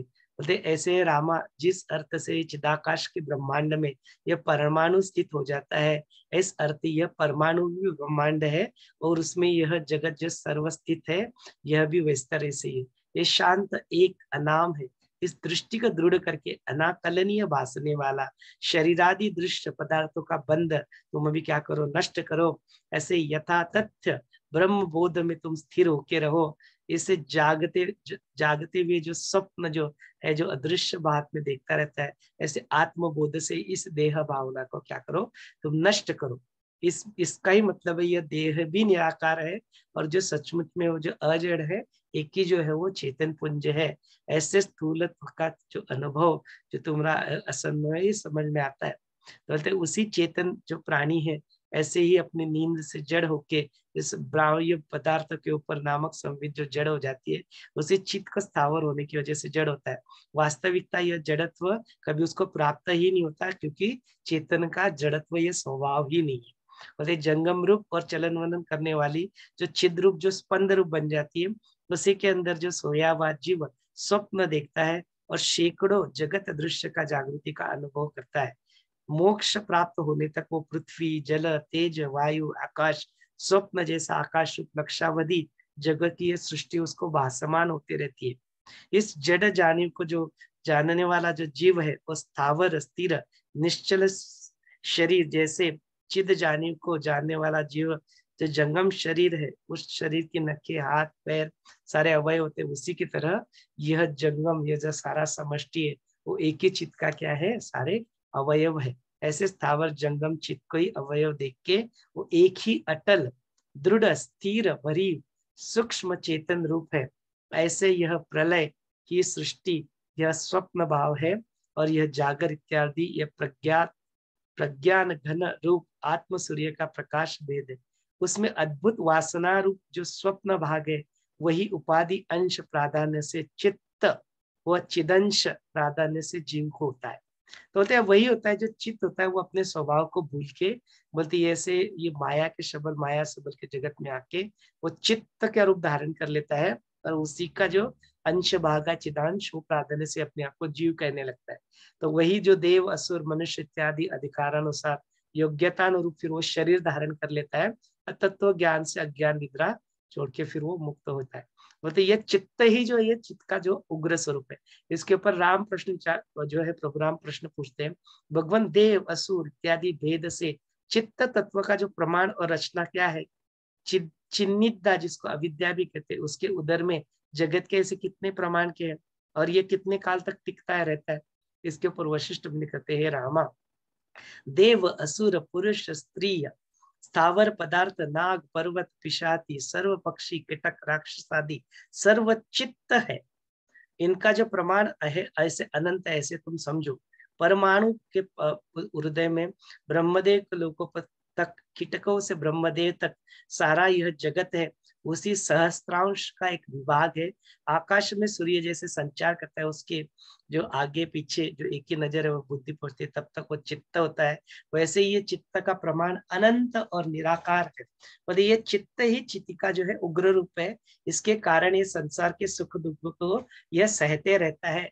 इस समष्ट में आत्मा का जो ब्रह्मदेव का स्वरूप है वो सारे भुवनों में ऋषि सर्व सामग्री के साथ रहते हैं और इस ब्रह्मांड में कल्पना से जब इनका शरीर बाहर पड़ता है तो वही स्वर्ग कहलाता है और चित्त से आगे आता है तो उसी को हम लोग ऐसे जानते इसी को हम लोग ऐसे कहते हैं। तो इसी चित्त को जीव कहते हैं, चित्त आदि, अंत शून्य विभु है। इसे घट से आकाश जैसे उत्पन्न होते हुए दिखाई देता है, वैसे ये देह निर्माण हो जाता है।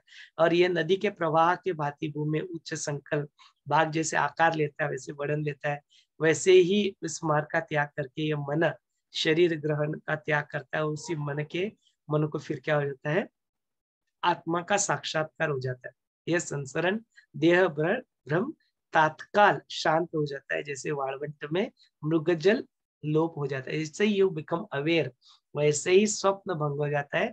आप जाग जाते हो तो, तो तुरंत नष्ट हो जाता है। जैसे ही आपको पता लग जाता है कि ये मृगजल है वो वाणवंट से वैसे ही वो मिराज खत्म हो जाता है। बोलते ऐसे ही बोलते ऐसे इसमें सारा जो जीने वाला जो है ये मनी जो है इसका पुरुष होता है। ऐसे जग में जो अणु होता है, वो मन ही होता है और ऐसे प्रमाण से ही वो मन ही पुरुष होता है। बोलते ऐसे पुरुषों के मन में यह सर्व जगह स्थित है। बोलते वो चित्त में ही जो तुम्हारा है ना, वो सारी चित्त में ही यह जगह स्थित होता है, इस तरह से यहाँ पे कहते हैं। इसीलिए उस मन को ही यहाँ पे पुरुष कहा गया। हम्म बोलते यही वो पुरुष है, वो चित्त के दूसरे के विषय की तरफ़ जो देखता है, बोलते वो पुरुषों को निकट का स्पर्श दृष्टादि का भान नहीं होता, ये प्रसिद्ध ही है। बोलते रामा, यह शुद्ध एकाग्र चित्त से जो वर्ष आपादि कल्पित होता है, ऐसे अवश्य एकादे कीटक के भांति अशुद्ध चित्त रूप से जो जीव उसको बदलने में समर्थ रहता है, ऐसा दृढ़ अभ्यास जिनका हो चुका होता है, वो इन्हीं जानियों में रहते हैं। दे आर ऑलवेज अवेयर इतर कल्प अल्प तात्कालिक मन में आने वाली चीज़ों के बारे में जो जीव प्रत्यक्ष अनुभव मिलता है, ऐसे अशुद्ध लोगों से अस्वतंत्र अभ्यास करके वह अपने विरुद्ध कल्पना करते हैं और उसी की वजह से यह उसी में जागरूकता में श्रृंखलाबद्ध होते हैं दृढ़ अभ्यास की ओर से वो पुरुष उस स्वप्न में ऐसे अनुभव अलग अलग लेते रहते बोलते, रामा, इसके पहले भी मैं तुम्हें बताता हूँ कि ये जीव जो है, ये चिदाभास ही है, वो मन है। इसे चित रूप से जो चिदाकाश चेतन पूर्ण होता है, इसी जीव का सूक्ष्म और अतिवाहिक स्वरूप है। उसका कोई रूप नहीं है, उसका कोई विशिष्ट आकार नहीं है और आकाश से ही शून्य है। अस्त वो नहीं होता है, मोक्ष होने तक वो ऐसे ही, वैसे रहता है। चौदह प्रकार की भूत सृष्टि से एक चित्त भूमि ही है, उसमें लक्षावधि संसार, पूर्वी भी होते हुए, आगे भी होंगे, और ऐसे अभी भी है। बोलते ऐसे ये चित्त के अंदर ऐसे कई सारे ब्रह्मांड निर्माण हो जाते हैं, बोलते बिकॉज़ चित्त को स्वप्न देखने के लिए क्या आवश्यकता होती है? कुछ, कौन उसको रोक सकता है? तो बोलते ऐसा अलग अलग ये चित्त ही ये सब कुछ अपने ही कल्पना से सब निर्माण कर लेता है ऐसे ही ये सब संसार, ये जगत है। बोलते काल व्यवस्था से, दृष्टि से क्रियमान जो चालू, जो कर्म वृक्ष पर कच्चे फल के बाती जो लगा रहता है, ऐसे ही संचित कर्म और जो उसमें जो राइप हो जाता है उस फल के बाती खाने योग्य भोग्य जो तैयार हो जाता है, वही तुम्हारा प्रारब्ध।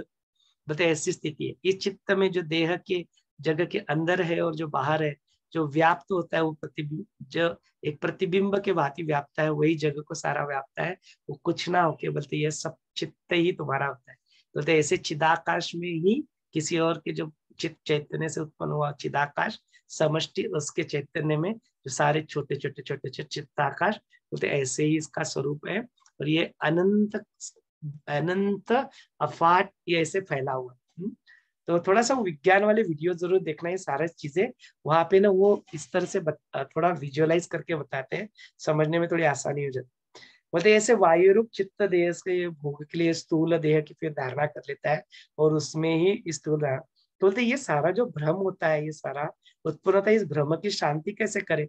इसके ऊपर भगवान राम प्रश्न पूछते हैं, भगवान, इस जगत भ्रांति, इसका कितना भी कौतुक किया, उससे जो फिर वो दुखी रहता है बोलते, आगे चल के आपने फिर से आप उसको समझा के मुझे बताया मेरे मन में जो प्रश्न आ रहा है, उसके संशय उससे नाई से नहीं हो रहे कृपा करके आप कुछ तर्क दे के मुझे समाधान जब तक नहीं होता, तब तक आप मुझे बताया एक क्षण क्षण से निकट अंतर्यामी जो रहने वाला, जो जानों से अनुभव है, इसका शंबर मतलब सौ टक्का, इसमें यह स्थिति, इसको हम लोग कैसे रिवर्स कर सकते हैं? इसके ऊपर वशिष्ठ कहते हैं, हे रामा, यह सचमुच में बिल्कुल सच होने के बावजूद भी यह स्वप्न है, वैसी यह जगत स्थिति है, इस तत्व बोध से, इस स्वरूप का बाध करना, यही सारी दुखों का, शांति का उपाय है। बोले तो जब तक तुम इसमें, इसको सत्य मान के इसके में उलझे रहोगे, तब तक तुम्हारे दुख का अंत संभव नहीं। तो तुम्हें इससे बाहर यदि निकलना है तो ये आत्मदर्शन ये सेल्फ रियलाइजेशन खुद के स्वरूप को जानना और यह जगत मिथ्या है, इस बात को समझना इस, ये उसका एक में वो उपाय यहाँ पे, और उसी से सारे दुखों को यह भ्रम जो है शांत कर देगा। इसके ऊपर राम पूछते हैं तो फिर यदि ऐसा है तो फिर ये सारे दुख दूर हो जाएँगे क्या? बस बोलते इतना से सब कुछ करने से ये सारे दुख के दूर हो जाएँगे क्या? स्वप्न में जो विषय के संबंधी जो पिंड कल्पना है जो स्थूलता की भावना है वो कैसे शांत होगी? इसके ऊपर वशिष्ठ मंदिर कहते पूर्वापार, पूर्वी से ही सारी जो घटना का जो क्रम है, इसका विचार यदि तुम करते हो, सारे पदार्थों के स्वरूप का उत्पत्ति लय का यदि तुम तुम विचार करते हो, इस विषय स्थूल को शांत होकर यदि देखते हो तो यह स्वप्न के अंदर जो विषय जो स्थूलता जिसको तुम पिंड भाव कह रहे हो, ऐसे विषय वस्तु साकार घनजड़, ऐसे है ऐसी कल्पना की हुई है और इसको जब तुम जागरूक अवस्था में जाग जाते हो तो उसी बोध से ये निवृत्त हो जाती है, ये तो प्रसिद्ध ही होते जो तुम्हें स्वप्न के अंदर जो स्वप्न नगरी दिखती है, जैसे ही तुम जाग जाते हो तो वो रहता है क्या फिर? लेकिन जब तक तुम वो स्वप्न नगरी में होते हो, तब तक तो बड़ा सत्य लगता है वो। ना, तब तुम्हें कोई बता कि स्वप्न तो तुम मानने के लिए तैयार बट जैसे ही तुम स्वप्न से कोई तुम्हें जगा देता है तो फिर उसको नष्ट करने का प्रयत्न करना पड़ता है क्या? बोलते कोई प्रयत्न की वहाँ आवश्यकता नहीं, बोलते उसी की तरह ये सब कुछ है। यह जागना, यह बोध होना। बोलते, उसी से तुरंत, बोलते, माया जान लिया ना तो बात खत्म ना फिर? है नहीं माया फिर, वो जान लिया तुम तो उसको नष्ट करने का प्रयत्न, करने का प्रयत्न करने की आवश्यकता ही नहीं बचती है। तो बोलते, इस बोध निवृत्ति से ये निवृत्त हो जाता है, ये तो प्रसिद्ध ही है। यह प्रबुद्ध जागृति होने की वजह से ये स्थूल स्वप्न भावना निवृत्त ऑटोमेटिकली हो ही जाती है। हे रामा, ऐसे अविचार से विचार शक्ति ना होने के मात्र ये सर्व संकल्प मात्र ऐसा समझ में नहीं आता। उसी की वजह से लहा, छोटे से लेके बड़ों तक सबको दुख झेलना पड़ता है और जो विचारों से तत्व ध्यान जिसको प्राप्त हो जाता है वह केवल संकल्प रूप से प्रत्यक्ष में कुछ भी नहीं होता है, उसका नाश हो जाता है और उससे दुख नहीं होता। हे रामा, चित्त के विषयोन्मुख हो, ना होके यह उपाय, उपायों से चित्त का विषय सामग्री जब अपने आप ही क्षीण हो जाती है। तो बोलते इसी भूमिका का क्या करो अपने जीवन में? परिपाक उसका क्रम तुम देखो। तो बोलते ऐसे रामा, तीन प्रकार की दृष्टि यहाँ पे बताई गई। तो बोलते एक दृष्टि जो है वो पामर दृष्टि है। दूसरी दृष्टि जो बताई वो यौक्तिक दृष्टि है। तीसरी जो बताया उसमें जिसमें यौक्तिक दृष्टि में तर्क, श्रवण, मनन, विचार, विमर्श से वो प्राप्त होने वाली दृष्टि है। और तीसरी दृष्टि होती है, वो जो तत्व दृष्टि होती है, वो अभ्यास से करके अर्थ अंतकरण से साक्षात्कार रूप से वो स्पूर्ण वाली वो दृष्टि होती है, वो तत्व दृष्टि होती है। इसमें जो पामर दृष्टि होती है, वो निराकरण करने के लिए दूसरी और तीसरी दृष्टि का आधार उसको आधार लेना पड़ता है। दूसरी दृष्टि को लय और तीसरी दृष्टि में साक्षात तत्व दर्शन होता है, ऐसे तत्व ध्यानों का संकेत है। बोलते इसी के अनुसार मैंने भी अपने शास्त्र का विवेचन यहाँ पे किया। उसी से सारे दृश्य, दृष्ट जीव और जीव भाव नहीं है। इस जगह की शून्यता को और इस जगह के भ्रम को मैंने निराकरण किया। इतनी स्थिति को आने तक उस जगह का मैंने इस तरह से निर्णय किया। इसलिए रामा, इसके तरह ही तुम भी तत्वानुसंधान करके उन उपायों से तत्व को जानकर उस भूमिका परिकाप पर जो क्रम है, उसको एक के बाद एक ज्ञान की जो जो भूमिका, सात भूमिका हमने बताई थी, उसको तुम धीरे धीरे धीरे धीरे, उसको क्या करो, पक्का करो, उसको दृढ़ करो और फिर उसको स्टेप बाय स्टेप उसके आगे बढ़ते रहो। ऐसे विचारों से, स्वानुभव से दृढ़ होने तक उसके लिए तुम क्या करो, अपना पुरुषार्थ और अपना प्रयत्न करते रहो। सर्व विकल्पों को छोड़कर, इस वाणी को इत्यादि को इंद्रियों के व्यापारों को निरोध कर कर, निर्विकल्प समाधि में तुम बन के रहो। अज्ञ लोगों से जो अनादि संसार में पुनः पुनः भोगने वाले विषय समूह को वैराग्य वैराग्य गति से उसका निग्रह छोड़ो और उस निग्रह करो और उस विषय से उसके जो भोग लेते रहते हैं, ऐसे जो बताता, तब भी तुम उसका ग्रहण मत करो। ऐसे इसके इसके एडिशनल और तुम्हें क्या बताऊँ? बोलते मैंने जो बताना था तो तुम्हें मैं सब कुछ तुम्हें बता चुका हूँ। हम्म, इसके बाद में फिर वह सारी चीज़ें सुन के प्रभु रामचंद्र जी अंदर क्या ट्रांसफॉर्मेशन होता है उनका क्या आत्मदर्शन है वो सारा चीज़ कल फिर 142 चैप्टर से आगे हम लोग उसको कल देखेंगे। तो अभी थोड़े से अब तक ये जो अपना चैप्टर है वो तो यहाँ पे समाप्त हो जाता है। यहाँ पे जो प्रश्न है सारे प्रश्न यहाँ कवर हुए नहीं है वो देख लेते हैं फिर नहीं तो उसके बारे में थोड़ी थोड़ी चर्चा करेंगे। यहाँ पे जेनी जी का जो प्रश्न है how do blessings of God overcome the sage curse तो यही बात हो जाती है कि जो वरदान जो प्राप्त होता है, बोलते उसका जो है तो पहले मिल चुका है तो सिक्वेंस में वो पहले आता है तो उसका प्रभाव ज़्यादा होता है। एक पहली बात बताई गई। दूसरी जो बात बताई गई थे उसका जो श्राप का कोई अंत सार नहीं निकलता। इसलिए बोलते वो जो होता है, वर का जो अंत सार निकलता है, इसलिए वो उसको ओवर पावर कर लेती ये हमने यहाँ पे देखा। दूसरा होता है कंददंत की कथा what is the moral of the story कुंददंत की कथा यहाँ पे देखिए। अभी थोड़ा मॉरल ऑफ़ द स्टोरी हम लोग यहाँ पे देख लेते माने जो जिस चीज़ को हम लोग इतना चित्र विचित्र परिस्थिति से जिसको कहते हैं, वो भी कैसे सत्य होता है? तो कुंददंत जो सुनते तब तो लगता बड़ा विचित्र है। लेकिन वो कुंददंत खुद ही वहाँ पे बैठा होता है विशिष्ट मुनि के दरबार में। तब वहाँ पे लगता कि यार ये फेक नहीं है। ये रियलिटी वो जो कुंददंत है, वो गुजर रहा है और फिर वो वशिष्ठ की वाणी को सुन के आत्मज्ञान को प्राप्त कर लेता है। इसका मतलब क्या है? इस इस जो अपने योग वशिष्ठ को सुनते सुनते उस आत्म दृष्टि को प्राप्त करना संभव है। इसका यह ज्वलंत उदाहरण कुंददंत की कथा से यहाँ पे हमको मिल रहा है। तो that is one of the topmost moral of the story की विश्वास रखो। इस वाणी के ऊपर, इसके ऊपर, इस ग्रंथ के ऊपर, इसकी फलश्रुति के ऊपर आप क्या करो? विश्वास रखो, ये सब कुछ चीज़ें आपके जीवन में भी, आपको भी प्राप्त होगी, हो जाएगी। वो आठ लोगों को कैसे रूल प्राप्त हो जाता है? बोलते वो अलग अलग आकाश में उनको वो अपना ही ब्रह्मांड बना के प्राप्त हो जाते उसमें कौन सी बड़ी बात है? बुन और कर्स में डिफरेंस क्या होता है? और वो दोनों में से कौन जीतता है?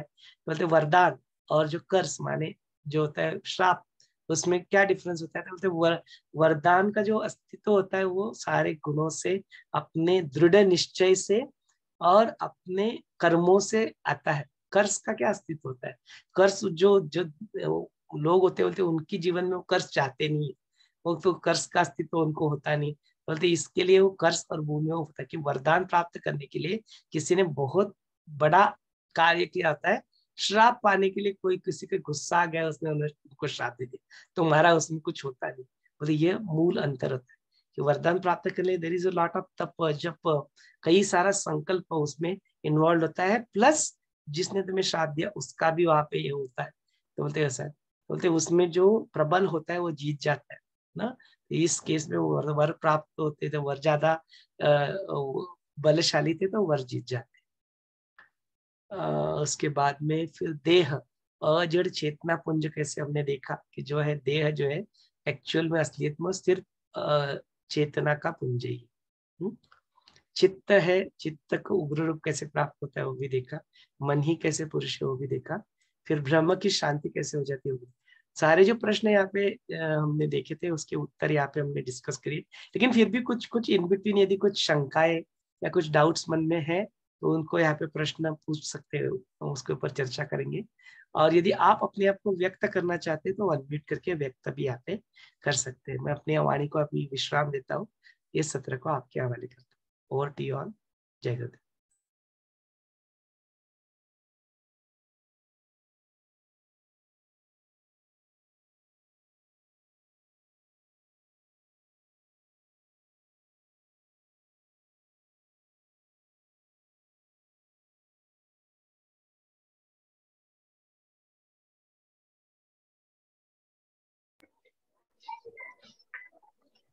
जय गुरुदेव सोमेश्वर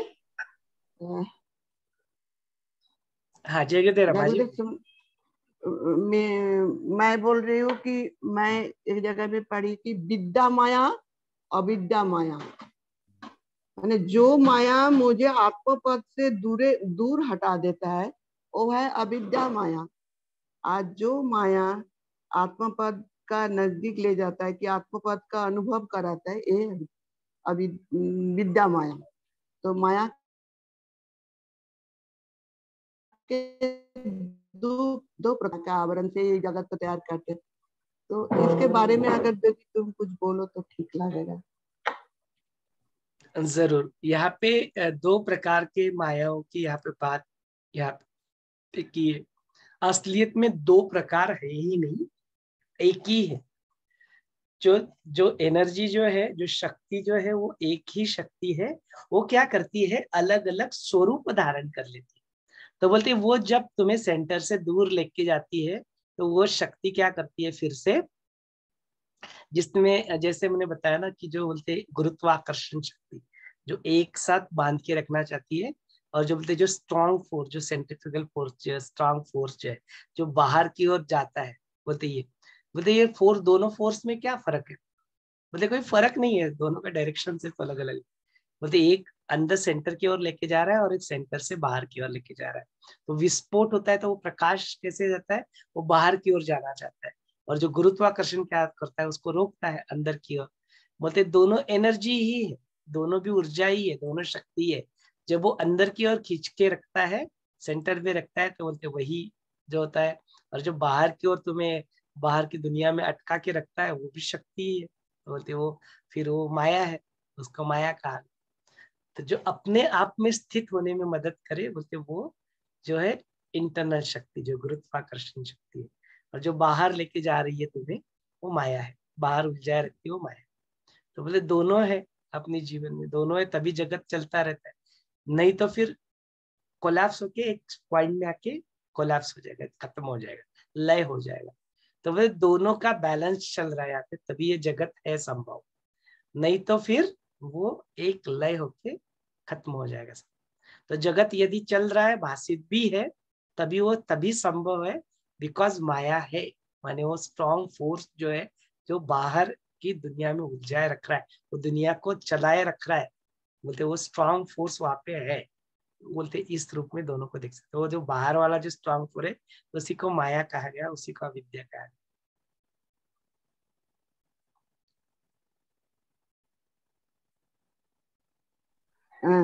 और एक प्रश्न है। जैसे गीता में लिखा है, पहले जो जितने अध्याय है, उसमें लिखा हुआ है कि तुम्हारा लक्ष्य है कि आत्मा तत्व तक पहुंचाना या ब्रह्म अनुभूति हो जाना। तुम्हारा लक्ष्य है। और दूसरे जितने बाकी ष्ठ अध्याय का जितने बाकी है अध्याय है, उसमें है कि कैसे हम उस लक्ष्य में पहुँचे? पहले तो लक्ष्य बता दिया, उसके बाद में भगवान ने अर्जुन को बताया कैसे उस लक्ष्य में हम पहुँचे। तो उसमें जैसे क्षमा, सत्य, समदम, तप, उसके बाद एक टर्मिनोलॉजी आती है आर्यवम। आर्यवम मतलब सरलता या रिजुता। माने चित्त की सरलता। अगर तुम्हारा जो पंचकोश है, इसमें अगर सरलता नहीं रहे, माने रिजुता रहे, वक्रता रहे तो उसमें तुम्हारा ये जो ज्ञान है, ये तत्व ज्ञान है, वो तुम्हारा ठीक तरह से पहुँच नहीं पाएगा, या तुम, तुम्हें अनुभव नहीं हो पाएगा। इसीलिए सरलता भी एक चित्त शुद्धि का एक बड़ा गुण है। तो वही मैं कल गीता पढ़ रहे थे क्षमा सत्यम शांति आर्जबम आर्जबम बोल के एक टर्मिनोलॉजी है। तो आर्जवम मीन्स मैं पहले ढूंढे तो देखा आर्जवम मतलब रिजुता या सरलता। चित्त की सरलता होना चाहिए। चित्त तभी निर्मल होगी, तभी शुद्ध होगी। तो यही बोलो ना थोड़ा इसके बारे में थोड़ा बोलने से अच्छा लगेगा। मैं तो वीडियो ऑन नहीं कर पा रही हूँ आँख में इतना फूल गया मेरा ना। मैं गिर गई थी ना परसों रात को ना बाथरूम में गिर गई थी। ओ और एकदम आग का वहाँ जाके जो नहाने वाला स्टूल होता है ना उस हाँ। स्टूल में मेरा मुँह जाके गिर गया लग गया। अभी बुरी तरह से फूल गया आग का नीचे। ठीक है तुम बताओ। कोई बात नहीं आ, रमा जी ठीक हो जाएगा। थोड़ा समय उसको दीजिए। जो ट्रीटमेंट है उस ट्रीटमेंट को चालू रखिए। हम सब आपके लिए ज़रूर प्रार्थना करेंगे। हम गुरुदेव के ब्लेसिंग्स भी आपके साथ ज़रूर है। कमिंग बैक टू जो प्रश्न है आपने या जो शेयरिंग आपने क्या प्रश्न तो था नहीं कैसे इट वाज शेयरिंग तो बोलते हैं कि जो चित्त की जो शुद्धि जो होती है उसकी निर्मलता को उसकी स्वच्छता को यदि को प्राप्त करना है तो we need to be simple in our life जो अपने जो होते हैं ना बोलते जो संत महात्मा होते हैं ना कभी अवडंबर नहीं किसी चीज़ का करते। बोलते सरल होते जो है वैसे है उसकी वो वैसे करते रहते हैं। इसीलिए उस जो आपने जो टर्मिनोलॉजी जो यूज़ की जो सरलता जो है अपने जीवन में उस सरलता को भी अपने जीवन में क्या करना चाहिए? लाना चाहिए। तो, यही बात को वहाँ पे कहा गया है कि you bring that simplicity in life there is no need to जो हम लोग कई सारे मास्क धारण कर लेते हैं ना, वो कई सारे अवडंबर हो जाता है, वो कई सारे आइडेंटिटीज धारण कर लेते हैं, वो सारे आइडेंटिटीज को छोड़ के आप जो अपना स्वभाव है बिल्कुल सरल, शांत, प्रेममय जो स्वभाव है उसी में आप लौट के आ जाओ, उसमें लौट के आने का जो ये, उसके लिए फिर वो सारी चीज़ें, साधना, सेवा, सत्संग, ज्ञान ये सारी चीज़ें उस अज्ञान को दूर करने के लिए हेल्पफुल रहेगी। एंड देन फाइनली जब आउटकम आएगा तो you will become that simple तो जर्नी से ही तुम फिर प्राप्त तो कुछ होगा वैसे छोड़ने से।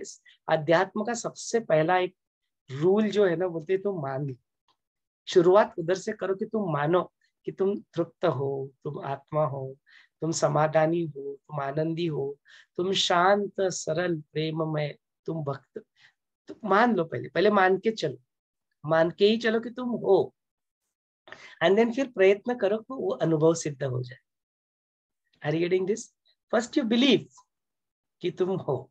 Then then suppose you want to you want to see yourself as an IAS officer मान लो। मैं आईएएस ऑफिसर बन चुका हूँ, ऐसा मान लो, ऐसी धारणा, इसको बोलते धारणा बनाना। फिर उसी के ऊपर अटेंशन रखो तो बोलते वो हो गया ध्यान। और देन उसी के अंदर फिर करते करते अप्रयत्न से समाधि लगा दो। तो बोलते वो, कुछ कुछ देर के लिए इन बिटवीन वो जो कामनाएँ है जो उनको छोड़ के समाधि में स्थित हो जाओ। तो बोलते ये सारी चीज़ें जब एक साथ होने लगती है आपके साथ बोलते वो संयम बन जाता है आपके जीवन में। और फिर वो बन जाते हो आप आई ऑफिसर जो भी अपने जीवन में आपको प्राप्त करना है। छोटी छोटी कामनाएँ, बोलते वो, कोई बड़ी बात नहीं है it's not a big deal लेकिन जब आप गोल को अपना मोक्ष मुक्ति के ऊपर रखते हो और वैसे प्रयत्न करते हो तो बोलते ये सब कुछ हो जाता है। इसलिए ना अध्यात्म में मानो मानो कि आप वो सरल हो, मानो कि आप शुद्ध हो, मानो कि आप में वो सारे सत्व गुण मैत्री, करुणा, शम धम तितिक्षा, श्रद्धा, समाधान, उपरति, ये सारे जो सत संपत्ति है, मानो कि तुम्हारे पास है। हम्म? और लगता है कि और है तो बोलते उसको प्राप्त करने के लिए पुरुषार्थ करो फिर अपना। प्राप्त करो। कुछ चीज़ें जो होती है वो प्राप्त करनी होती है अपने जीवन में। कुछ चीज़ें जो माननी होती है, कुछ चीज़ें प्राप्त भी करनी होती है अपने पुरुषार्थ से। प्राप्त करो इन सारी संपत्तियों को। तो बोलते उसमें से ही एक जो सत्य गुण जिसको कहते हैं, वो संपत्ति है, बोलते वो बीइंग सिंपल सरलता जो है ऑनेस्टी है, सरलता है। बोलते उस सरलता ने अपने आप that is also the important thing जो चित्त शुद्धि के लिए आपकी मदद करती है यही बात कही गई। और एक लास्ट प्रश्न है। आप पिछले आप पिछले सत्र में समता के बारे में बताए थे हम्म। दंड रहित हो जाना। तो ये समता मतलब सोचो कि मैं अपने घर में बहुत सारे हमारे पारिपार्श्विक अवस्था में बहुत सारे आदमी से मिलते जुलते हैं तो सबके ऊपर समदृष्टि रहना ये जो प्रोसेस है बाह्य कोशिश बोलो ये कैसे मतलब आदमी को लाभ, लब्ध होता है निर्दंड होना है। जब मैं जानती हूँ कि मेरे चैतन्य, उसका अंदर भी सेम चैतन्य है, सेम कॉन्सियसनेस है तो तब भी हम लोग दर्द विहीन नहीं हो पाते हैं। तभी तभी हम लोग उससे अपने आप को अलग समझने लगती है। या दंड भी नहीं हो पाते। ये जो सम, समदृष्टि जैसे समवाद में, जैसे हमारे, हम लोग जब पढ़ते थे कॉलेज यूनिवर्सिटी में, तब हम लोग साम्यवाद पढ़े थे। कार्ल मार्क्स का कम्युनिज्म पढ़े थे कि सबको कैसे रशिया में हुआ। तो वो जो साम्यवाद है, समता, राजनीति की दृष्टि में भी देखो या धार्मिक दृष्टि में भी देखो, समता एक बड़ा गुण है। समता कैसे दृष्टि में लाया जाए, इसका बारे में कुछ बोलो। हाँ तो उसके ऊपर तो उनका कल का पूरा सत्र सुनना पड़ेगा आपको। कल वही बात हुई कि अपनी जीवन में वो समत्व को लाए कैसे? तो बोलते वही बात है कि आ, अभी तो हमने क्या हुआ ना पता है कि हमने कुछ सुन लिया। तो अपनी जीवन में उसका निधि इतिहास अत्यावश्यक है। तो उस समत्व को अपने जीवन में यदि लाना है तो बोलते उसका प्रैक्टिस तुम्हें आवश्यक है।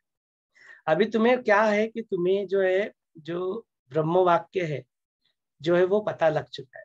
कहाँ पे पता लग गया? बुद्धि के लेवल पे। आपने वो सुना, आपकी बुद्धि ने उस किया। बट वो स्वानुभव बने तो बात बने। नहीं तो बचपन में दो साल के बच्चे को बताओ तुम जाके और उसको बोलो, मैं आत्मा हूँ, मैं और एक कुछ महीने में सीख लेगा वो बात को। यदि वो बोल पाएगा तो वो बिल्कुल तुम्हें बताएगा। उसको पूछो, तुम कौन हो? बोलेगा, मैं आत्मा हूँ। मैं आत्मा हूँ। मैं हम ब्रह्मास्मि कोई बहुत देर नहीं लगेगी उसको सिखाने के but then is there a difference between that kid which is जो रट्टा मारा हुआ सेंटेंस बोल रहा है कि मैं आत्मा हूँ, वो और जो आत्मज्ञानी है, दोनों में अंतर है क्या? ज़रूर अंतर है बोलो बुद्धि के लेवल पे बोल रहा है।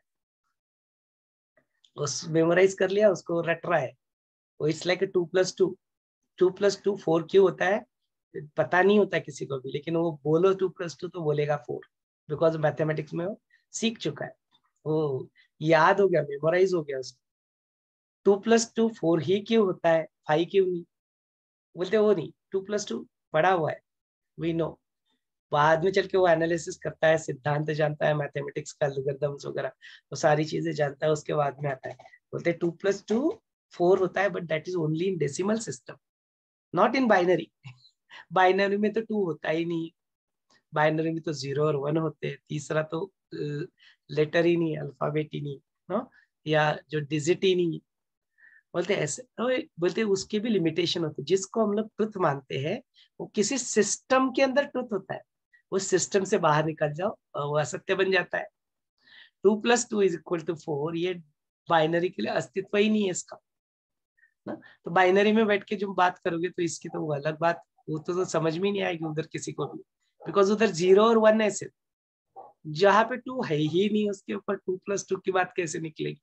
तो वहाँ पे नहीं समझ उसके लिए फिर बाइनरी से निकल के डेसिमल सिस्टम माने सिस्टम बोलते the things which is under consideration उस सिस्टम में कुछ चीज़ें वहाँ पे भाषित रूप से सत्य लगती है, लेकिन वो पूर्ण रूप से सत्य हो नहीं ही होती है मोस्ट ऑफ़ द टाइम नहीं ही होती। बोलते सब कुछ जो होता है वो बदलता है। बदलते रहता है। एक ही चीज़ जो नहीं, वो बदलती है और जो एक ही चीज़ जो नहीं बदलती, उसमें आप स्थित हो जाओ तो शिक्षण, समत्व की भावना ही है फिर। तो बोलते अद्वैत, द्वैत का नाश करने के लिए अद्वैत एक ही उपाय द्वंद्व का नाश करने के लिए अद्वैत एक ही उपाय तो बोलते वही समत्व। समत्व माने एक एक एक ही दृष्टि, सबके लिए एक ही दृष्टि। लेकिन वर्तन सेम होना चाहिए क्या सबके लिए? बोलते नहीं नहीं, उसकी कोई आवश्यकता नहीं है। वर्तन जिसके लिए जैसा आवश्यक है वैसा वर्तन करो। लेकिन दृष्टि सबके लिए एक ही रखो। सब दृष्टि से उनको देखो, अंदर से। तो तुम शांत रहोगे। सामने वाले के बिहेवियर्स या व्यक्ति वस्तु परिस्थिति घटनाओं के कारण आप विचलित नहीं हो जाओगे।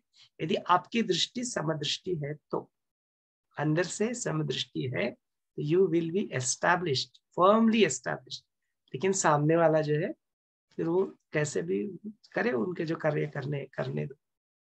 वो समदृष्टि है। बट उनका जो आपका, उनके प्रति जो रिएक्शन रहेगा या रिस्पॉन्स रहेगा, वो वर्तन अलग अलग होता ही है। माँ के साथ अलग वर्तन है, दीदी के साथ अलग वर्तन करते हैं। बाहर भाई के साथ अलग वर्तन करते हैं सिस्टर के साथ अलग। वर्तन सबके साथ अलग अलग अलग हो सकते हैं। उसमें कोई प्रॉब्लम नहीं। लेकिन चारों को देखो, बोलते उसी माता पिता में, उसी भाई बहन में। उसी पत्नी में, उसी बच्चे में एक ही चैतन्य को तुम देखो। तो बोलते वो समत्व वाली दृष्टि इक्वानिम्स वो समता को अपने जीवन में हासिल करना बहुत देखो ना, आजकल जीवन में लफड़े क्या चल रहे हैं?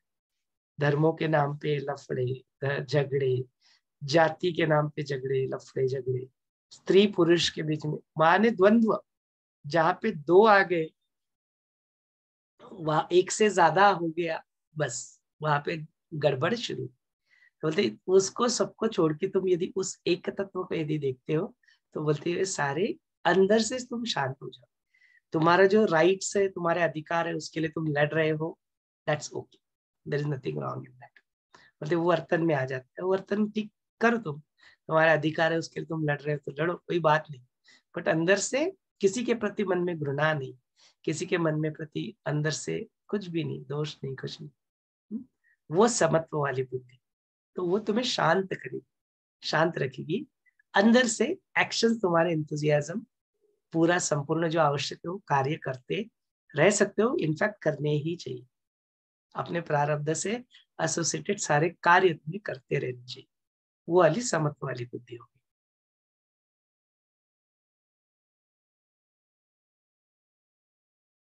थैंक यू थैंक यू चलिए और किसी को अपने आप कुछ व्यक्त करना है या कुछ प्रश्न पूछने तो ज़रूर आप व्यक्त कर सकते हैं। जय गुरुदेव अभी आपने जो समझाया, ये बहुत ज़रूरी वाले पॉइंट है कि ट्वेंटी फोर बाय सेवन इसी में स्थिति में रहना है कि मैं शिव हूँ और आगे वाला भी शिव है। आते ही आजू बाजू के लोग अलग अलग आते हैं, पर अंदर से जो स्थित है, अद्वैत की स्थिति, उसी में हमको रहना है, समत्व स्थिति में। ये रोज के रोज कान में से अंदर से अंदर जाना ही चाहिए ये बातें। वैसे ही जाते जाते रहेंगे तो अपने को आप, अपने क्रियाओं में वो आते जाएगा। ये बहुत सुंदर आपने एक्सप्लेन किया। थैंक यू सो मच और आज का तो बहुत सुंदर था। कुंद दंत की कथा और उसमें से राम जी ने फिर से पूछा कि मेरे भ्रम कैसे निकलेंगे। तो वशिष्ठ मुनि ने यही उत्तर दिया जो आप भी आपने एक्सप्लेन किया। कि ये तो खुद की स्व प्रयत्न करना पड़ेगा खुद को मेहनत करनी पड़ेगी और खुद की धारणा करनी पड़ेगी। और जो आपने बहुत सुंदर एक एक्सप्लेन कर दिया, ध्यान, और ध्यान में वो संकल्प, और फिर वो संकल्प ही सच हो जाता है।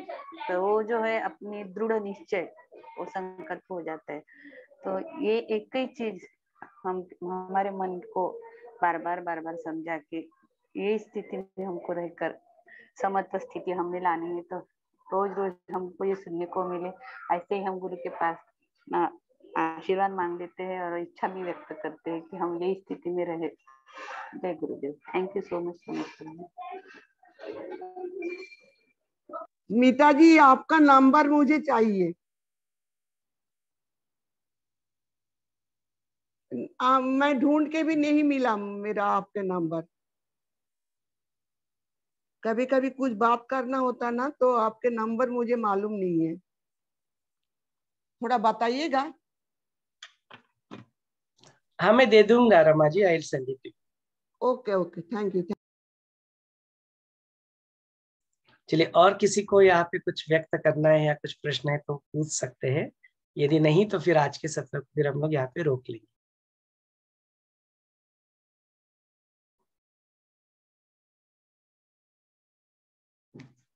चलिए, आज के सत्र पे फिर आप लोग यहाँ पे रोक लेते हैं ताकि पुनः एक बार हम लोग कल मिल पाए।